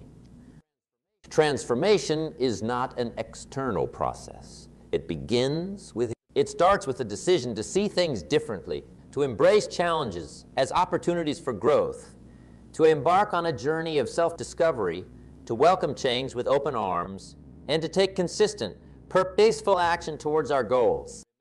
Remember, the journey does not end here. Transformation is an ongoing process, a continuous journey of growth and evolution. As you step forward from this moment, carry with you the lessons we've shared, the insights you've gained, and the resolve to continue growing, learning, and evolving. I encourage you to take a moment to envision your future, the life you dream of creating. See it in vivid detail, the achievements, the joy, the fulfillment, Hold on to that vision, guide you, let it guide forward. you as you move forward. Let it be the beacon. Let it be the beacon that lights your path. That lights your the path compass, the compass directs that directs your journey. As you embark on as you embark path, on this path, remember that you are not alone. The journey of transformation, the journey of transformation is a road many have traveled many will travel, many will travel after. Seek out mentors. Seek out mentors. Surround yourself with like-minded individuals, and never be afraid to ask for help or guidance. Together, together we are stronger. Together, we can achieve more. In closing, in closing I want to leave, you, leave with, you with a thought to carry, in your hearts. You have, you have within you all the strength, wisdom, and determination you need to transform your life. The power to change, to grow, to achieve your greatest dreams lies with embrace it, nurture it, and let it shine. As you, As you step, step out into the world, remember, remember that, that every day is a new, opportunity, opportunity, a blank, blank canvas, waiting, waiting for you to, you paint, to paint your masterpiece. masterpiece. Approach, Approach each day, day with enthusiasm, with passion, and with the unshakable, belief, belief that you are you capable, capable of extraordinary, extraordinary, especially for me, farm boy from Idaho. I didn't have many skills when I first uh, awakened to the opportunity that, you know, you could work for pay. I knew how to milk cows, but you know that was about it, and it didn't pay very well. But when I was introduced to network marketing, health and nutrition, a marketing system where I could start at the bottom, go to the top, and start part time, it literally revolutionized and changed my life forever. I've never been the same. And a big share of my story now is sharing with people around the world this extraordinary opportunity. And then along with it, the philosophy that makes it work. Because you can have every technique in the world and the best product in the world, and you can have the finest support system in the world, but unless you have the philosophy that drives you to do the necessary things to make it work, then nothing works. So I like to talk about all the things that made it work for me and see if that might not be valuable for uh, someone else. So I want you to take some good notes. If you're ready to take notes, say, I'm ready. ready. I like this crowd already. Treat me well, I might take you with me as my traveling audience. Now, here's the next key on being prepared for the next century, and that is your personal philosophy. At age 25, the things that so dramatically changed my life was number one, the discovery of a unique product that I could believe in. My, my mother taught nutrition, and she taught good health, so I was the beneficiary of that. It came from my grandmother, my grandfather, passed it on to my mother. She taught it, passed it on to me. Uh, my father never had a major illness, lived to be 93. My mother extended her life, according to the doctor, at least 20 years. She should have died at least 20 years earlier than she did, simply because she stretched out those years by the study of good nutrition. I was an only child, and Mama studied and, you know, mixed up all that stuff back then. You know, she'd say, hey, me and Papa and her, she said, drink this stuff. If it don't kill us, I think it'll help, you know, and we're gagging down this stuff. And Mama taught all of that, but the payoff was so incredible. I passed it on to my two daughters. They've never been ill. They passed it on to their children, my grandchildren. They haven't been ill. I mean, the study of good nutrition, paying attention, and being involved in the industry you're in, it's one of the best. So, that's so important. Your personal philosophy what you believe in that's going to carry you into the next century. Let me give you now some of the early philosophies that changed my life forever. I heard one of them in my introduction. Some of these philosophies have lived with me now all of these years. I've passed them on, and people have come back around saying, Mr. Rohn, you know, 10 years ago, 20 years ago, 30 years ago, 35 years ago, I sat in your class and sat in your seminar, and those early things that you taught, I've practiced it and I'm doing it a man not long ago showed me notes he took 23 years ago. And then he had me sign those notes. He said, I've used these notes to develop my life, my personal life, and my business life. And when he took those notes, he said, I was 18 years old. So it's incredible. I'm so thankful for all these years. But now I want to pass it along to you. Some of the philosophies that changed my life forever. Okay? If you're ready, say, I'm ready. ready. Here's the first one Profits are better than wages. Once I understood that, I got rich. Profits are better than wages. Nobody taught me that in high school. I went to college for a year and a half and I never heard it. I'm 25 and broke. I'm not destitute. I'm broke. Too much month at the end of the money is broke. And I finally hear this philosophy profits are better than wages. Now, here's the phrase that goes with it wages make you a living, which is fine. Profits make you a fortune, which is super fine. And you can live both fine and super fine. You've now got the mechanism and the ways and means to do that. Profits are better than wages. Guess what? I taught this in Moscow when I was teaching capitalism. You know, the communists had it all wrong. They taught that capitalism was, you know, a big company that oppresses its workers. I mean, it was absolutely ridiculous. They had mentally lost it when they came up with this ridiculous philosophy. Uh, communism taught capital belongs to the state, not the people. And we taught all these years what? Capital belongs in the hands of the people, not the state. That's why, of course, kids should pay taxes, because they can be capitalists, and all capitalists should pay taxes. And it doesn't take much to start an enterprise that makes a profit. I teach kids how to have two bicycles, one to ride and one to rent. I mean, you know, how long does it take? How long does it take to make a profit? I mean, a little ingenuity and you're on your way. So, profits are better than wages. Capitalism better than communism. Communism said people are too dumb and stupid to know what to do with capital. So, you must take capital away from all the dumb, stupid people and give it to the all wise, all knowing state and let the state run everything. I mean, that was communism. And they devastated every country they touched. I've been to East Germany. It's taking a trillion dollars just to clean up East Germany. They've already spent 500 billion, they got 500 billion more to go. I mean, every country they touched, and I've been in all of them, they devastated them all with their devastating philosophy. We teach capital belongs in the hands of the people. That's where the ingenuity is to bring goods and services to the marketplace. And I'm going to show you later the miracle of capitalism grassroots in America, which you're involved in. But once I understood this now, it was so incredible. Profits are better than wages. Now, when I first was recruited, I'm a distributor for this little product called Abunda Vita. And here's what my mentor said, Mr. Shoaff.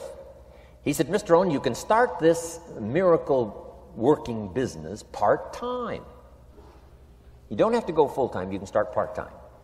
And he said if you'll devote, to start with, let's say 10, 12, 15 hours a week, where you'll start making a profit, here's what you can now say I'm working full time on my job and part time on my fortune. Because profits lead to fortune. I got so excited about that philosophy. I'm working full time on my job, but now I'm working part time on my fortune. I found a way not only to make a living, you won't believe this, I found a way to make a fortune. Can you imagine what that's like then to get up in the morning? To go to work on your fortune? Not to go to work to pay the rent, which is okay, but a chance to go to work to make a fortune? And I said, right now I'm working part time on my fortune and full time on my job, but it won't be long until I'll be working full time on my fortune. Can you imagine what life is going to be like? Now, here was my first goal when I started, and that was part time. I wanted to equal on my profits part time what I was earning on my full time job. This is called the magic of part time. It is so thrilling for people to start working the business part time. Because now you can work on profits, and it doesn't take very long. If you'll really concentrate on those 10, 12, 15 hours a week, it won't be long if you really do it right and learn some of the skills I'm going to talk about. It won't be long until you can be earning as much part time working on your fortune as you are full time working on your job. I did that in less than six months. Now I've got an incredible invitation. I found a way part time to work on my fortune, and I'm making as much money at that as I am on my full time job. Would you like to hear my story? It was incredible. Now, here was my second goal to make twice as much money part time working on my fortune as I was working full time on my job. And I reached that in less than a year. Making twice as much money part time working on my fortune as I was full time working on my job. Now I've got an incredible invitation that won't quit. I found a way through a unique opportunity to work part time on my fortune, and I'm now earning twice as much money as I am working full time on my job. Would you like to hear my story? Do you imagine anybody would say, No, I don't care to hear your story? Uh, no. Everybody I said that to said, Wow, yes, what are you doing? I said, I'm glad you asked. Let me tell you. Now, when I started making twice as much money part time as full time, here's, here's my dilemma. I didn't want to go full time. And why not go full time? And the reason was because I didn't want to give up my electrifying story. right?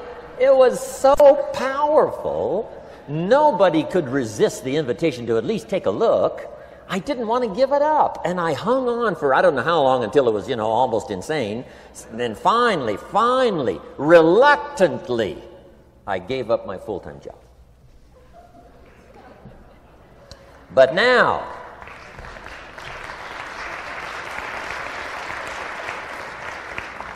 but now you can imagine the thrill and excitement of going to work full time on my fortune.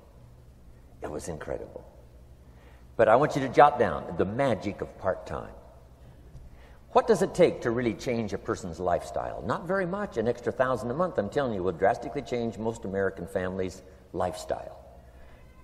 And that's why part time is so valuable because it very quickly changes a person's lifestyle. And here's what the change in lifestyle does it's a great recruiting tool. One of the greatest recruiting attractions is the money you make part time. Somebody said, You've been on three vacations this year? Says, Yes, I got this little part time thing going. Says, What's that? You bought two new cars, one for you and one for her. How did you do that? Said, I got this little part time thing going. You, your kids have got all these new clothes? Yes. All this stuff is happening. What is it? An extra thousand a month. See, a thousand a month full time, nobody wants to hear your story. A thousand a month part time that starts to change your lifestyle, everybody wants to hear your story. So the key is part time. The magic and the attraction of part time gives you a classic invitation for somebody to listen to what you're doing that's changing your life. And it's not just necessarily the money that changes your life, it's what you do with the money, it's the change of lifestyle. So part time helps to change lifestyle, which gives you a classic invitation to look at what you're doing. That's how I started in network marketing, age 25. Wow, these philosophies changed my life. I wish I would have learned them in high school. In high school, if they would have offered Wealth 1, Wealth 2, I'd have taken both classes. I wouldn't have waited until I was 25 and broke. Here's the next one philosophy that helped change my life. It's not what happens that determines your life future. It's not what happens that determines your life future. It's what you do about what happens. All of us are in like a little sailboat. And it's not the blowing of the wind that determines your destination, it's the set of the sail. So jot this phrase down. It's one of the best to understand. Kids need to understand it. The same wind blows on us all. The same wind blows on us all. The wind of disaster, the wind of opportunity, the wind of change, the wind when it's upside down, the wind when it's favorable and unfavorable. The same wind blows on us all. The economic wind, the social wind, the political wind. The same wind blows on everybody. The difference in where you arrive in one year, three years, five years, the difference in arrival is not the blowing of the wind, but the set of the sail. And that's what learning is all about to set a better sail this year than last year, to set a better sail. The first six years of my economic life, I wound up broke. Second six years, I wound up rich. You say, well, the Democrats must have finally gotten power. No. No. No. It was not a political change. Here's what changed the second six years of my economic life it was my philosophy that changed. The set of the sail of better thinking, correcting the errors of the past and picking up new disciplines for the future. That's all I had to do at the end of the first six. Correct the errors of the past and then pick up some new disciplines for the future. And my total life changed. The second six years was totally different than the first six of my working life. And guess who can do that? Anybody. Now, you can keep on the same path for the next couple of years as you have the past two. But if you wish to, if you wish to, and maybe everything's okay for you and you don't need to, but if you need to make some changes, I'm telling you, you can start doing it today so that the next two years will be drastically different than the last two. And anybody who wishes to do that can. And you can do it between ages 40 and 43. You can do it between ages 13 and 50. You can do it between ages 60 and 62. Any two years, any five years that you wish to drastically change from the previous five, you can do it. If you wish to. Now, this is not, this, is, this isn't written, this is not a law. Here's what it's called opportunity. But if you don't know you can change, if you don't know you can drastically change your income, change your future, change your health, change your marriage, change everything, if you don't know that, some people then go year after year after year after year not making much change simply because they, they didn't get to the class. They never read the book. They never went to the seminar. They never made the discovery. They didn't seek for the knowledge of how could I make my life better. And if you just rock along, I'm telling you it's okay. Anybody can live any way they choose, but I'm here to tell all of you that if you wish to, it's possible to make the next three years totally different than the last three. And all you have to do is just a few things. So if you got that one now, it's not the blowing of the wind that determines your income. It's not the blowing of the wind that determines your fortune. It's the set of the sail. And that's why we gathered here today. Maybe I've got some ideas that'll help you with a couple of little things about setting the sail of your thinking that might drastically give you multiplied more benefit the next three years than you've gotten in the last three. So it's not what happens. What happens, happens to everybody. Chevron years ago brought me in to talk to management. They said, Mr. Rohn, you travel around the world and you're fairly knowledgeable. What do you think the next 10 years are going to be like?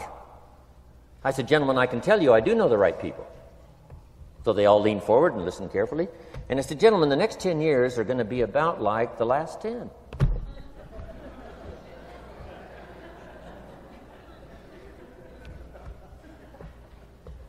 The next season after fall is.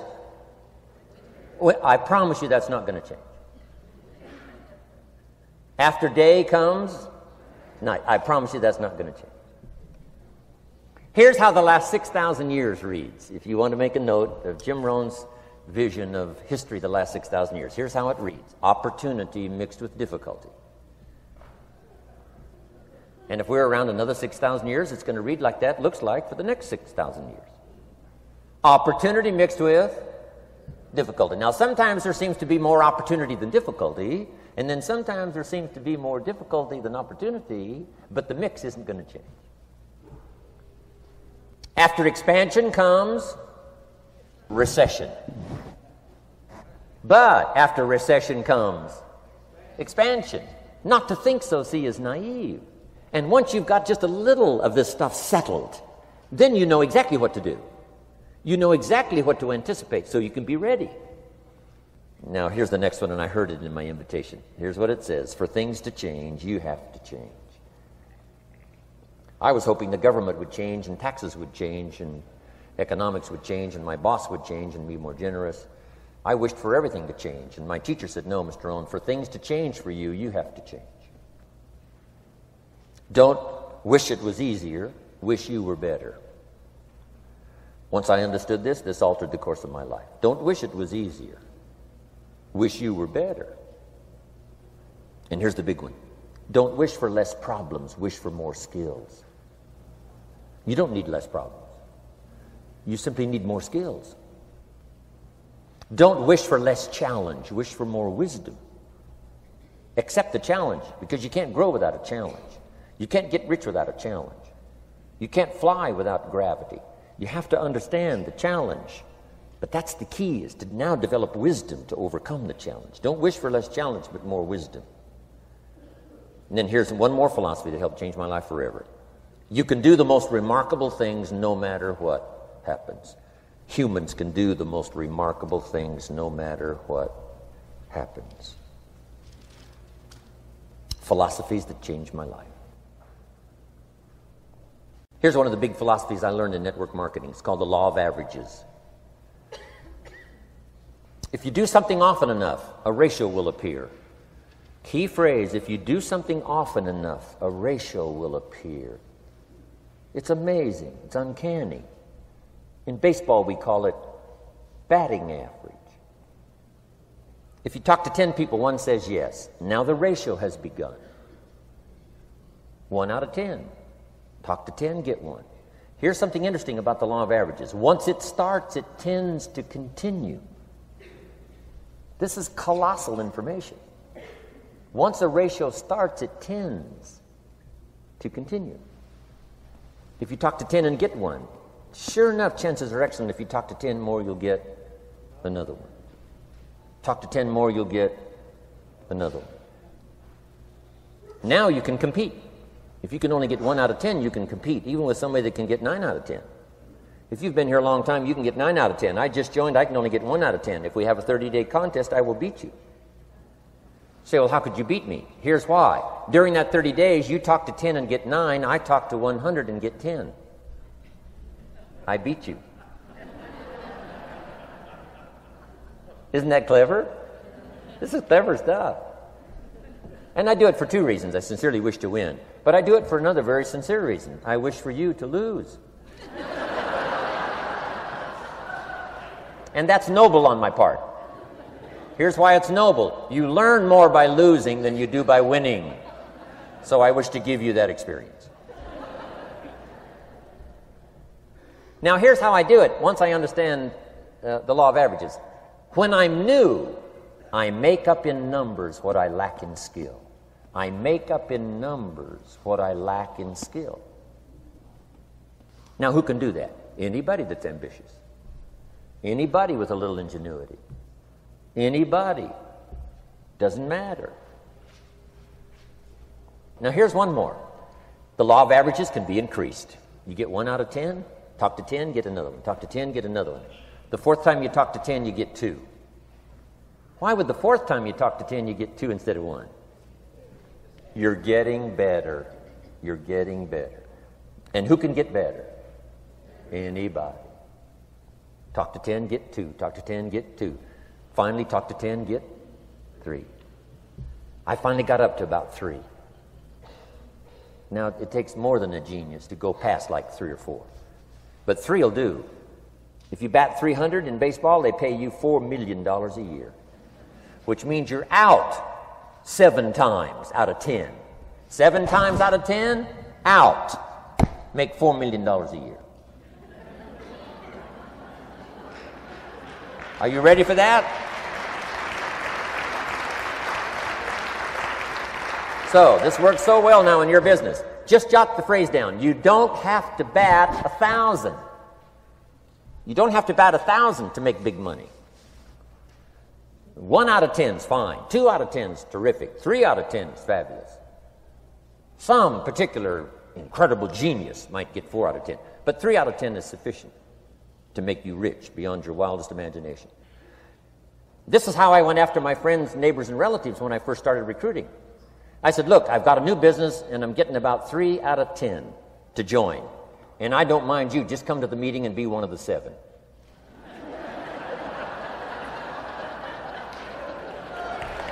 right? Doesn't matter.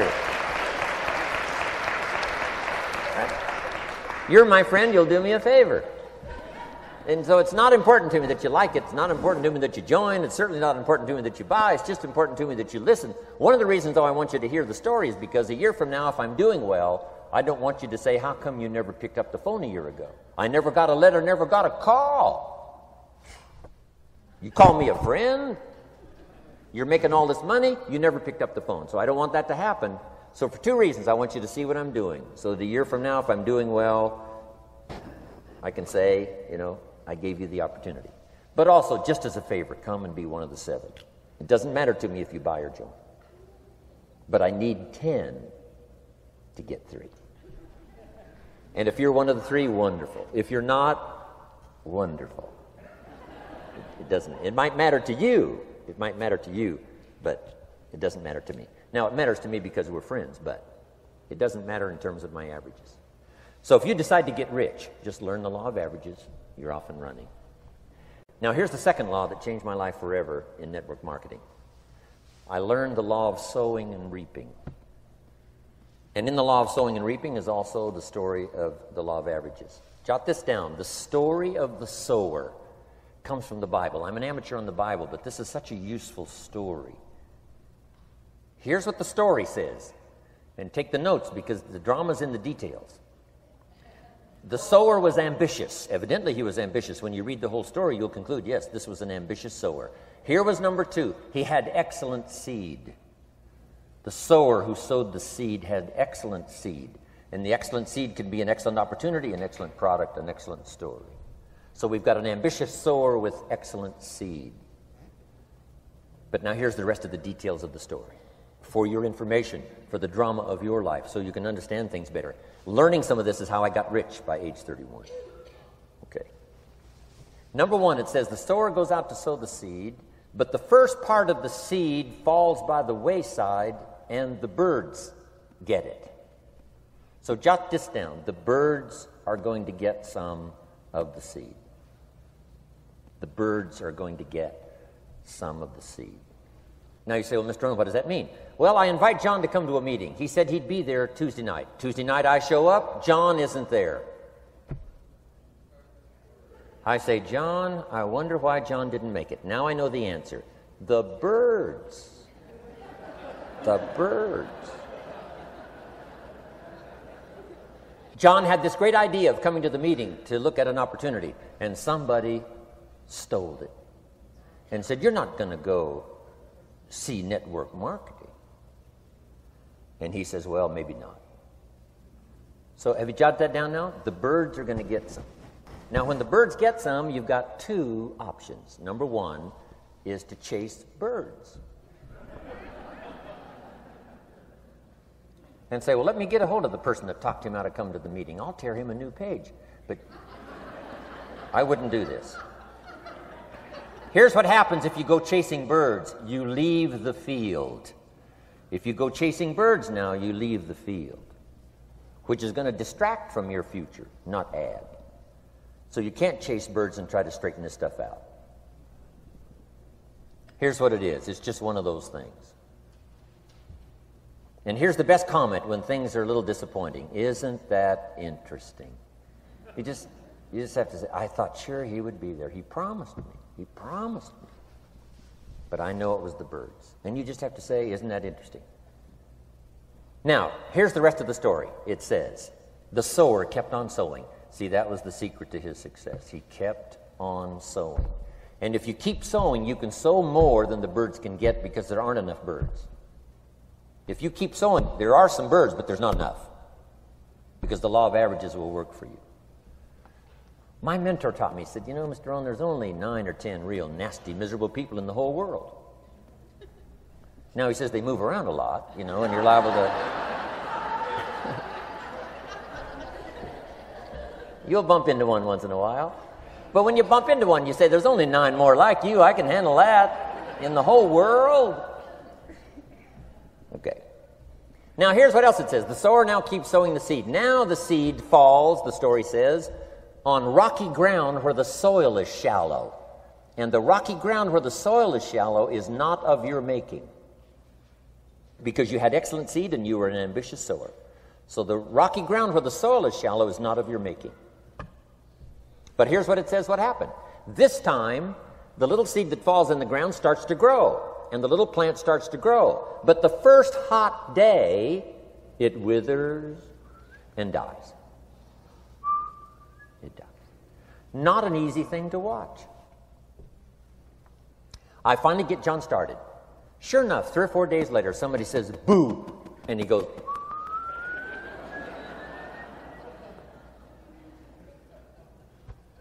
He's gone.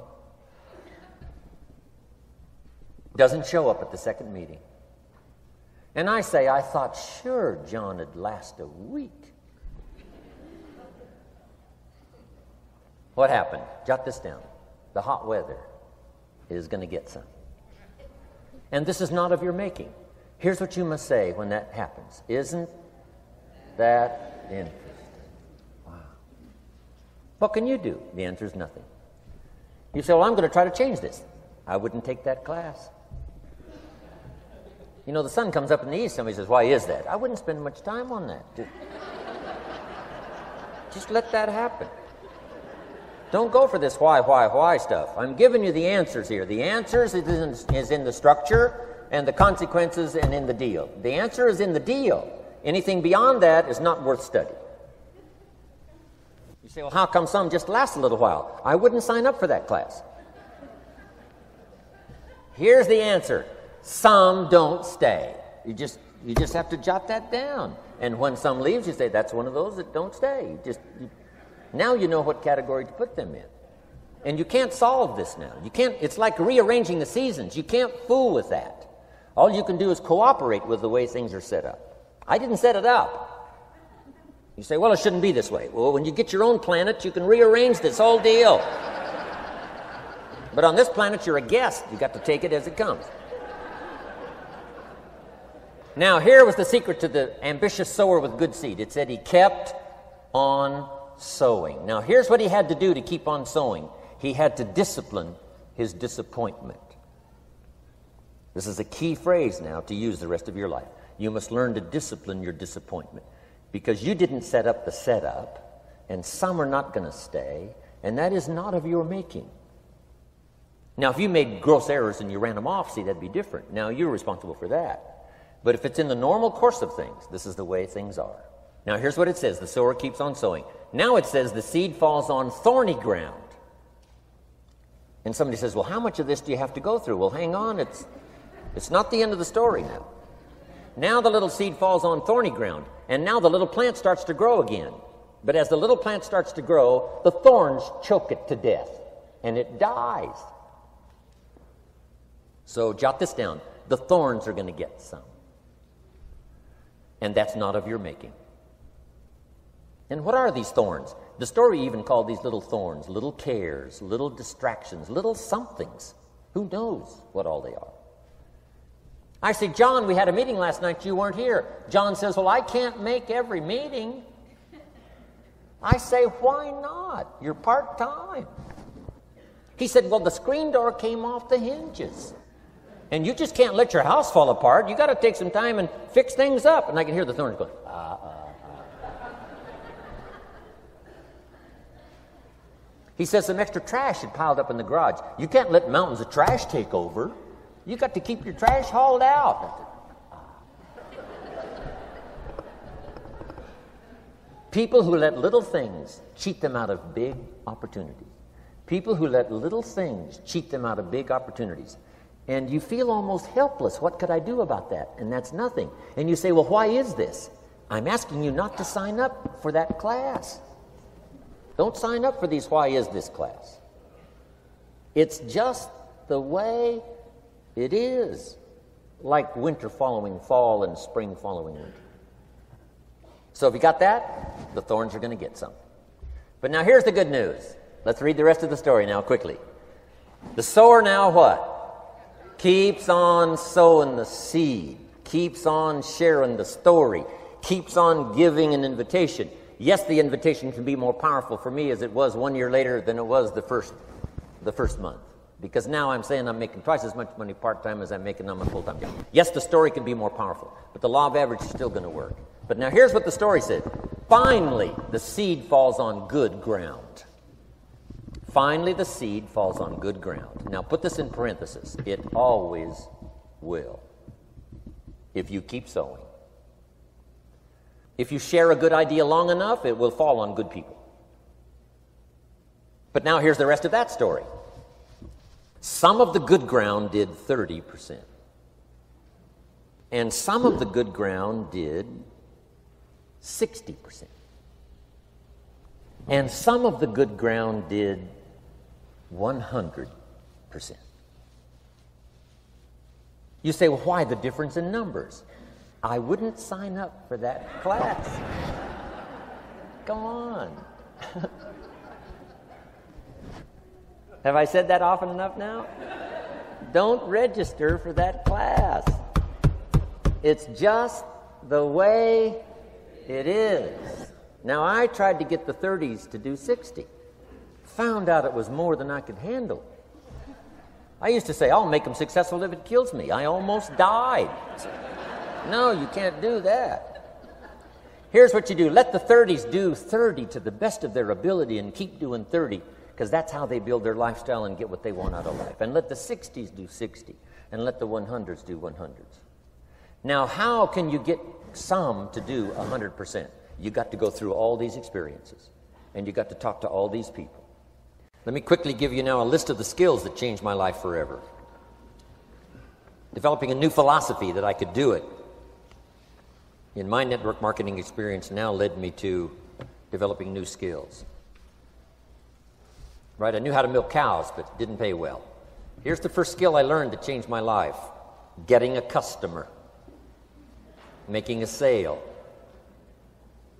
And of course, sales for you is easy, right? Because it's not technical. Right? The technical is all taken care of. You simply represent your product. If you share a unique product talk about its merits, persuade someone that it's the best, they agree to buy. That's the simple art of sales. But in your business, here's what it's more like sharing. Because using the product yourself, gathering some testimonials, you simply share that. So we're not talking like high powered spacecraft technical skills here.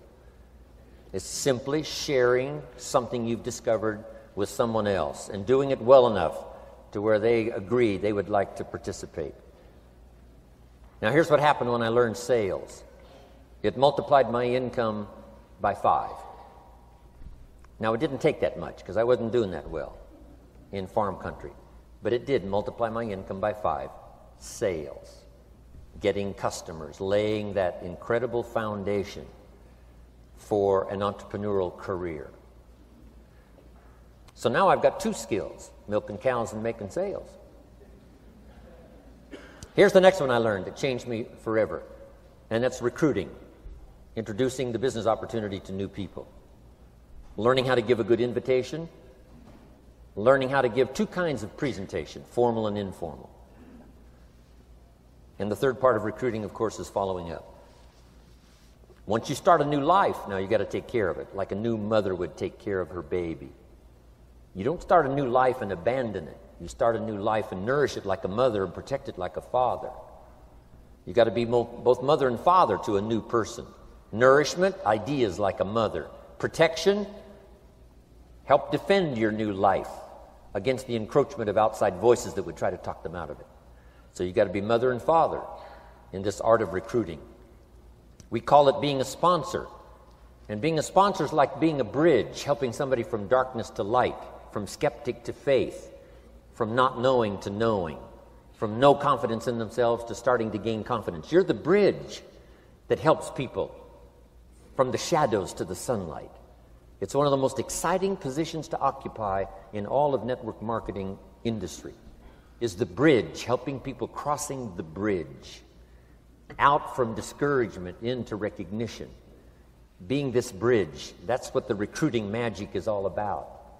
You've got the answers. They've been looking for the answers. You've got the answers. And you help them cross this bridge. You see something in them before they can see it in themselves. You assure them that it's possible to be more than they are, therefore, they can earn more than they've got, have more than they possess. This is one of the great arts in the world. And here's what's exciting about this art it pays big money. Because now you operate a unique philosophy taught first in the Bible John Kennedy taught it in his inaugural speech. Zig Ziglar's got one of the best ways to put it. And that's the secret to wealth. The secret to wealth and fortune. First taught in the Bible. Because the question was asked how can we achieve greatness, great wealth, great power, great influence, great recognition, great self esteem? How can we achieve greatness? The master teacher was asked. And here was his formula for achieving personal greatness. He said, Find a way to serve the many, for service to many leads to greatness. For those that are interested. Some people aren't interested, but for those that are, service to many leads to greatness. Someone says, Well, best I can do is just take care of myself, which is okay, but it doesn't lead to greatness. Somebody says, I got enough bills of my own, I can't worry about someone else's bills. That's okay, but it doesn't lead to greatness. Greatness is helping people pay their bills, you forget about yours. Because if you help enough people pay theirs, yours disappear. Help people with problems, your problems disappear. The key to greatness, the master teacher taught, is finding a way. Now, a lot of people would like to serve many people, but they don't have a way.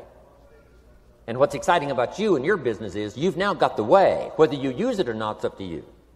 Whether you cash it in or not is up to you. Whether you make a fortune or just a little, that's all up to you.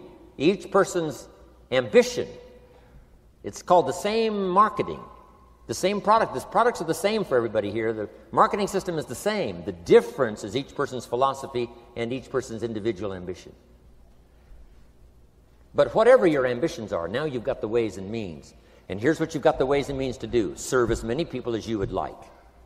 Now, here's what's exciting about recruiting. With what you're involved in here, you can directly and indirectly affect the lives of dozens of people. Some of you are going to directly and indirectly affect the lives of hundreds of people. And some of you, if you wish, can directly and indirectly affect the lives of thousands of people. And the pay is accordingly. If you affect a few, you earn that pay. If you affect the many, you earn that pay. But the secret is found in the Bible. Service to many leads to greatness. Now, John Kennedy said it in his inaugural speech. Here's what he said Don't ask. Don't we wish that was the current political philosophy? Where is John Kennedy and his philosophy? John Kennedy said, Don't ask. That's important if you understand philosophy. He said, Don't ask what the people can do for you. Don't ask what the country can do for you. Don't ask what the government can do for you. That's not how you get rich. That's not how you have high self esteem. That's not how you get trophies to put on the mantle above the fireplace, asking what the people can do for you. Don't ask, he said, what the people can do for you, but ask, what could I do for my country? And the country means the people. What could I do for the people? I want trophies. I want recognition. I want high self esteem. I would even like, like a chance to make a fortune. John Kennedy says it's easy. Don't ask what the people can do for you, but ask, what could I do for the people? Could I directly and indirectly serve many in my country? And now that you are participating in this program, the answer is yes. Now, Zig probably said it best. Zig's got some great stuff. Zig and I have been good friends for a lot of years. Zig says money isn't everything, but it ranks right up there with oxygen. Zig, you're right. Zig says, My dentist told me, Zig, only floss the teeth you want to keep. You know, forget the rest. But here, Zig is famous for this now. This is one of Zig's philosophies, and it goes right along with the other two the Bible and John Kennedy. Here's what Zig says If you help enough people get what they want, you can have everything you want. If you help enough people get what they want, you can have everything you want. Now, wanting everything you want, we call that self interest. But it's, it, it's okay to have self interest if you do it in a positive way. By helping enough people get what they want, you can have everything you want. Now, you can accomplish all that by learning this next skill called recruiting. And I learned it, and it made me fortunes. So now I've got three skills milking cows, making sales, and recruiting. Here's the next skill I learned that paid big money organizing. Once you got a few, get them to work together, see, and that's magic. Getting people to work together is magic. Now, yes, it's challenging, like having some, you know, several in, members of your family, getting them to work together is challenging, but it's magic. Getting husband and wife to work together is challenging, but it's magic when it happens. But everything magic is challenging. Just got to jot that down. Everything magic is challenging. But once you figure out the challenge and go for it, then the magic occurs. Let me tell you how magic, how magical people working together is. Let me quote the Bible again. It says, if two or three agree on a common purpose, nothing is impossible. Just try that on for your mental size. If two or three agree on a common purpose, nothing's impossible. Everybody's looking for a challenge. Here's what I teach, especially the kids. Here's the best challenge in the world. Let's go do it. Not you go do it. Let's go do it. If two or three of us decide on a common purpose to do it, nothing's impossible. Incredible. Working together, organizing. Now, when everybody's an independent, now it's a little more challenging. Like having kids, they've each got their own opinions, they've each got their own uh, ambitions and desires. It, it's, it's challenging. You've got a variety. But that's what makes life the variety. And it is in your business it is challenging getting people to work together. It's like herding cats. you know, sheep are easy. Sheep are easy, but you got to try cats, herding cats. But if you can possibly get it done, the power is so immense when you get people to work together. Here's one of the powers of working together shared testimonials. If I've got somebody new and you're there and I'm there, I give them my testimonial, you give your testimonial. Maybe what tips the scales in getting me a new person is not my testimonial, but my partner's testimonial. Somebody I'm working with. Their testimonial got them. Shared testimonials are so powerful. That's why getting working together is okay, is, is powerful. Now, working by yourself is okay. All this stuff is okay. Everybody needs to know, though, where are the advantages? And these are some of the advantages. I learned to organize, paid big money. Here's what I next learned to do promote. Promotion now pays staggering money. Now, the company comes up with what we call major promotions. Here's what you've got to come up with the smaller promotions. The company comes up with major recognition. You've got to come up with small recognition for your people around you. The top five. The company's got top five. You've got your own top five in maybe two or three categories top five, top five, top five. And those little recognitions, to reach certain levels in the company, you have to take major steps. But for you, recognition, let them take small steps. Here's one of the secrets of your kind of business rewarding people for small steps of progress. Rewarding people. Sometimes it's just recognition, handshake, pat on the back. Mary, you're doing a fabulous job. And you figure out what those recognitions are. Small steps of progress. Guess what promotion pays if you learn it well? Big money. Getting people to do something they wouldn't ordinarily do by themselves. People will do some unique things by themselves, but if you can figure out a way to say, Mary, if you do this and this, she says, Well, I'll go for it. Now, she, she wouldn't have thought of that on her own. Here's what works magic it's better than money. Money's a bit unimportant. Here's what's important ingenuity. The best place to wake up your ingenuity is what you're doing right now. Representing a unique product and getting customers, recruiting distributors, and promoting and all this stuff. Ingenuity. Figuring out a way.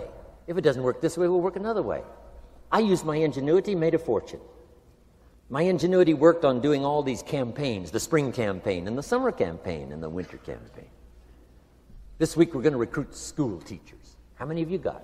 How many of you got? School, this is school teacher week, school teacher month. I'd pick out a little category and say, let's go for it. And it doesn't matter what it is, just dream up something so that somebody's got a little more objective to go for than just their own.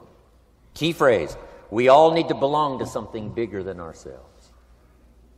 Because we furnish inspiration for what's bigger, and the bigger furnishes inspiration for us. I learned promotion and it paid big money. Here's next I learned communication how to conduct a meeting.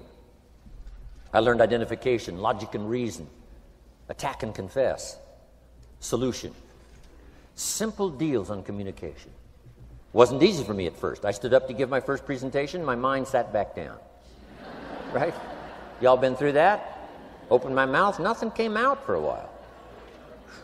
But here's what I did I did it again. Just jot that phrase down. I did it again. That's the secret to how I got here. 35, 40 years later, it's how I got here. I did it once, it was uncomfortable. That first presentation was so lousy, if I hadn't been doing it, I'd have gone home. it was not that good. But here's the secret to how I got here I did it again, and then I did it again, and then I did it again, and I did it again. I remember when I first decided to be a little more animated, right? and walk out away from the podium, right? Get out from just behind the podium. So I got out there, and then I thought, how do you get back? Whoa, I'm stranded out here. Remember those times? Doing something for the first time? But you learn quickly in your business, right? In your business, a guy stands up to give his first testimonial, and he's so nervous he forgets his own name, right?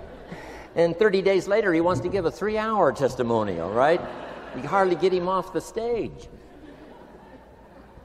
So, learn communication. How to affect other people with words. That's the greatest art in the world to learn. How to affect other people with words.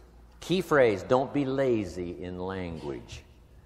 If you learn to use the gift of your own language wisely, it can make you a fortune and build an incredible life.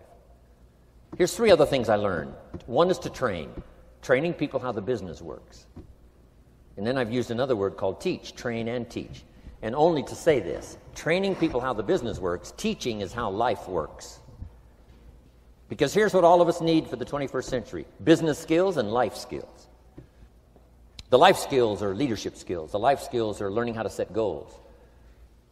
Now, here's the ultimate skill to learn that can transform your life and the life of whoever will listen the ability to inspire.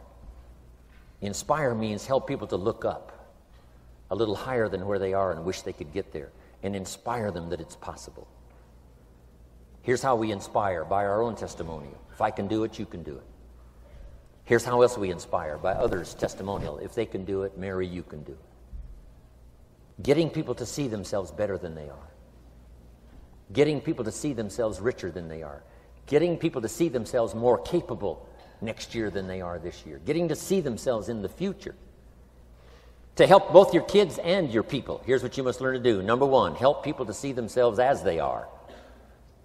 If people have made mistakes, they got to know it. You can't go on making mistakes and hope to achieve. Mistakes have to be corrected. And you've got to do it with your children. Help them to see themselves as they are. If they've messed up, here's what you've got to say You've messed up. But here's what's important as a parent don't leave them in the mess. Some parents, you know, tell their kids they've messed up and then they leave them in the mess. They don't paint a better picture. Here's what you could become with just a couple of more changes. Rather than this, here's what you could be. So we must help our children see themselves as they are, but here's the greatest gift to help our children see themselves better than they are. To transport them not only past to see their mistakes, but transport them to the future to see their opportunity to see the person they can become. My mentor had that greatest gift to help me to see myself better than I was. At first, it was difficult to see. Then I started to believe, and that's how I got here today. He said, One of these days, Mr. Rohn, you'll walk into a room full of people, and you will hear some of them say, That's him. That's the famous man. I, I said, Well, that could never happen to me. He said, Trust me. If you keep working hard on the disciplines like you're doing right now, that'll happen. You'll walk into a room full of people and you'll hear one say, That's him, that's the famous man. He saw it and he tried to get me to see it. And now finally it's happened. I think when I walked in here today, I think I heard someone say, That's him, that's the famous man. it happened for me.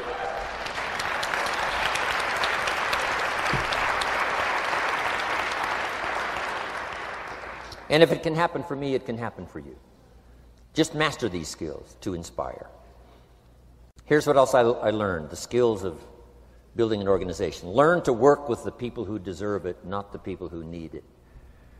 You must be like life itself respond to deserve, not to need. It doesn't say if you need, you will have a harvest. It doesn't say if you need a harvest, you'll have a harvest. It's not what it says. It says if you plant, chances are good you'll have a harvest. If you plant, you will reap. Not if you need, you will reap. So we must be like life itself. Respond to the people who deserve it by planting, by taking the first step. Even God Himself says, if you move toward me, I'll move toward you. That's the condition. You move toward me, I'll move toward you, says the Almighty. Now, He could also say, You don't move, I don't move. You say, Well, that's arbitrary. Well, when you're God, you can set it up that way. Now, learn to work with the people who deserve it, not the people who need it. Now, here's what's the next step teach people how to deserve your time, teach people how to deserve your attention, teach people how to deserve a phone call, Say, Mary, you just take this one step and I take two steps. You take two steps, I take five steps. You don't step, I don't step. But this isn't hard now. You step, I step. You respond, I respond. You try, I try. You make a call, I back you up. Right? Learn to teach people how to deserve your time and your attention. Next, I learned to work by group more than individual. Here's why 80% of the people do 20% of the business. So 20% of the people you can work with individual, 80% you have to work with by group. But group is very powerful, less confrontational. Then here's what's important for all of you to learn as a sponsor helping other people. You can help a thousand, but you can't carry three on your back.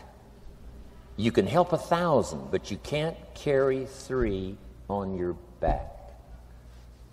And I'm sure all of you have already gotten that experience, even though you've been here a short time. Some people will try to get on your back. That's where we got that expression get off. We're, that's where we got that. A guy discovered somebody on his back and said, What?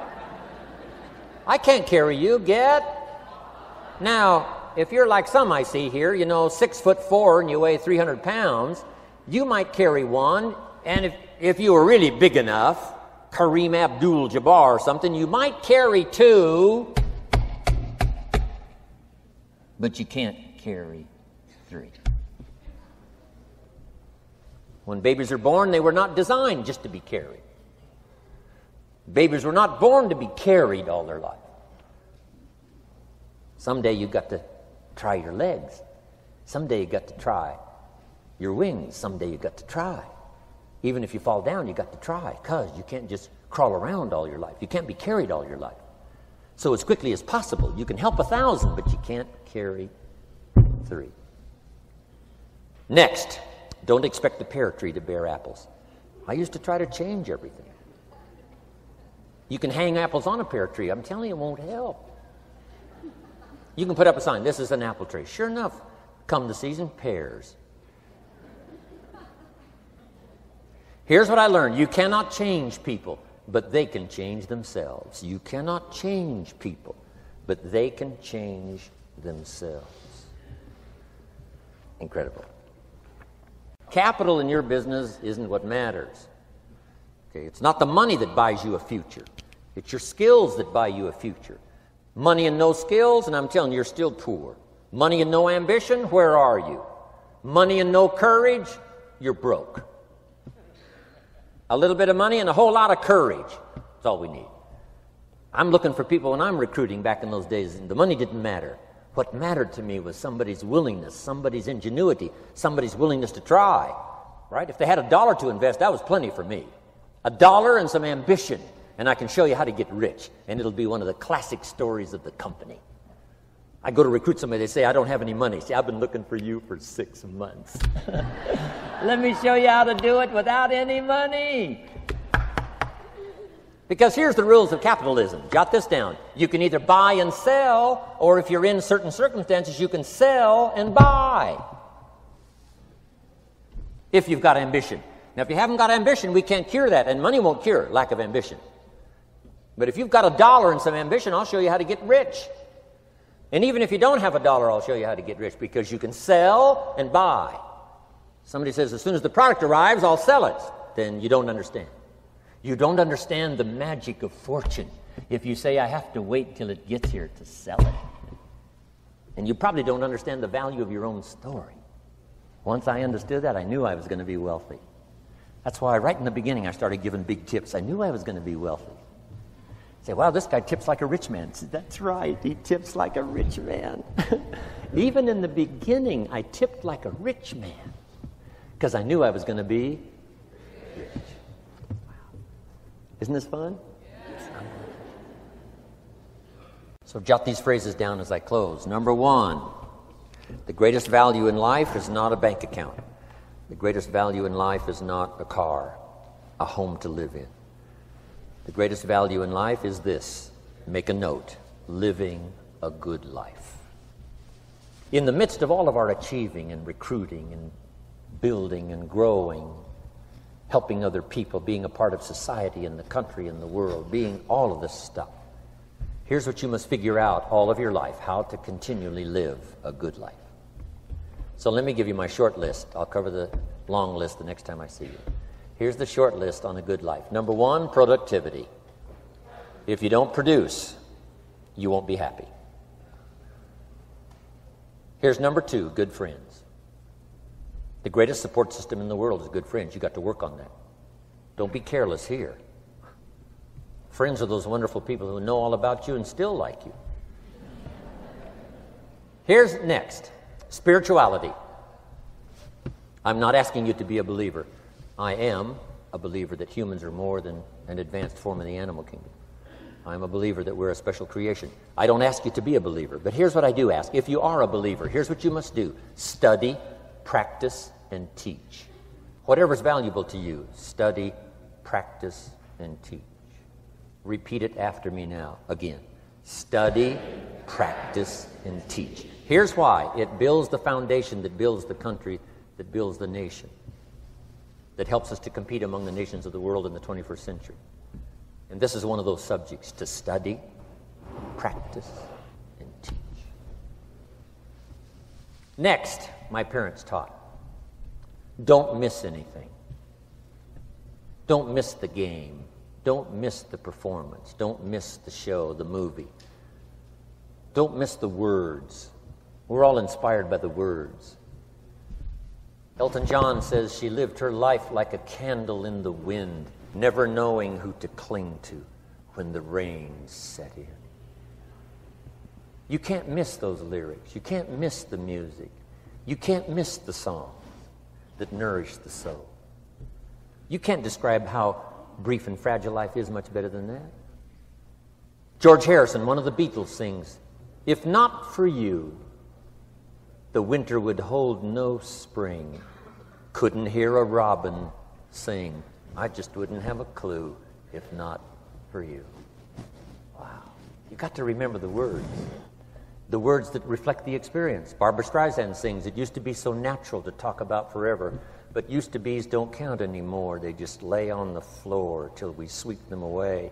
You don't sing me love songs, you don't say you need me, and you don't bring me flowers anymore. Illustrative of all of our experiences. Winston Churchill said, The truth is incontrovertible. Malice may attack it and ignorance may deride it, but in the end, there it is. You got to use that. Feast on someone else's comments. Because, see, you could stay up all night and not think of that.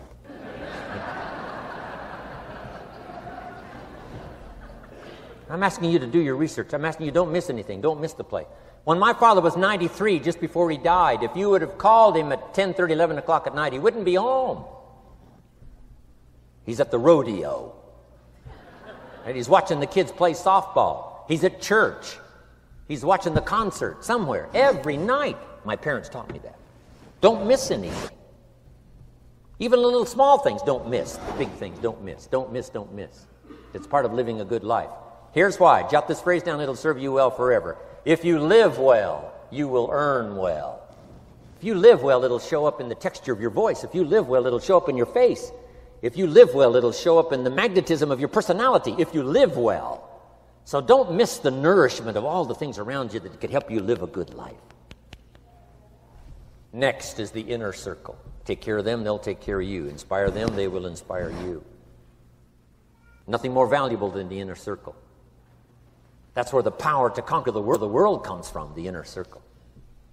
If a father walks out of the house and he can still all day long feel his daughter's kiss on his face, he's a powerful man. Nourishment of the inner circle is so incredible. If a husband walks out of the house and all day long he feels the imprint of his wife's arms around his body, He's invincible. Who can touch him? One person caring for another, the old, the old prophet said, is the greatest. There's many virtues and values, but the greatest is love, one person caring for another.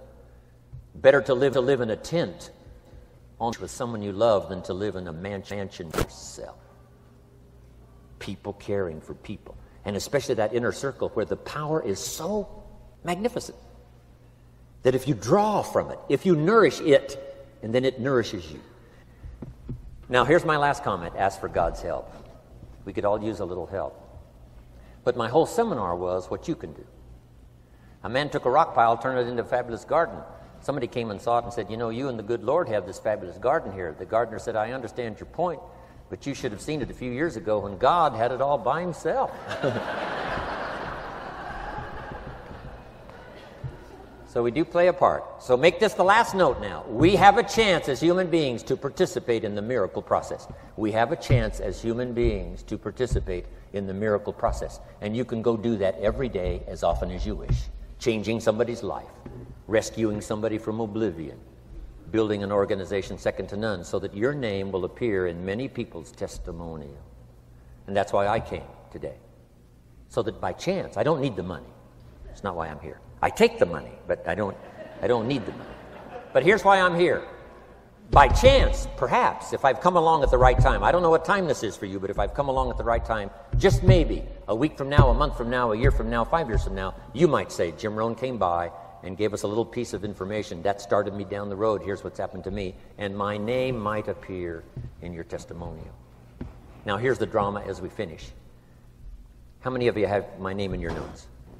Here's the part of the drama then. I go with you. When we all leave here and the lights are out and the place is dark, I go with you because you've taken my notes and hopefully some of the spirit, some of the stuff I had besides just the notes. So I go with all of you. But here's the big drama all of you go with me.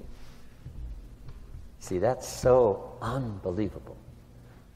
So as I leave here, I promise not to leave you behind. I will take you with me in my thoughts and in my heart. God bless.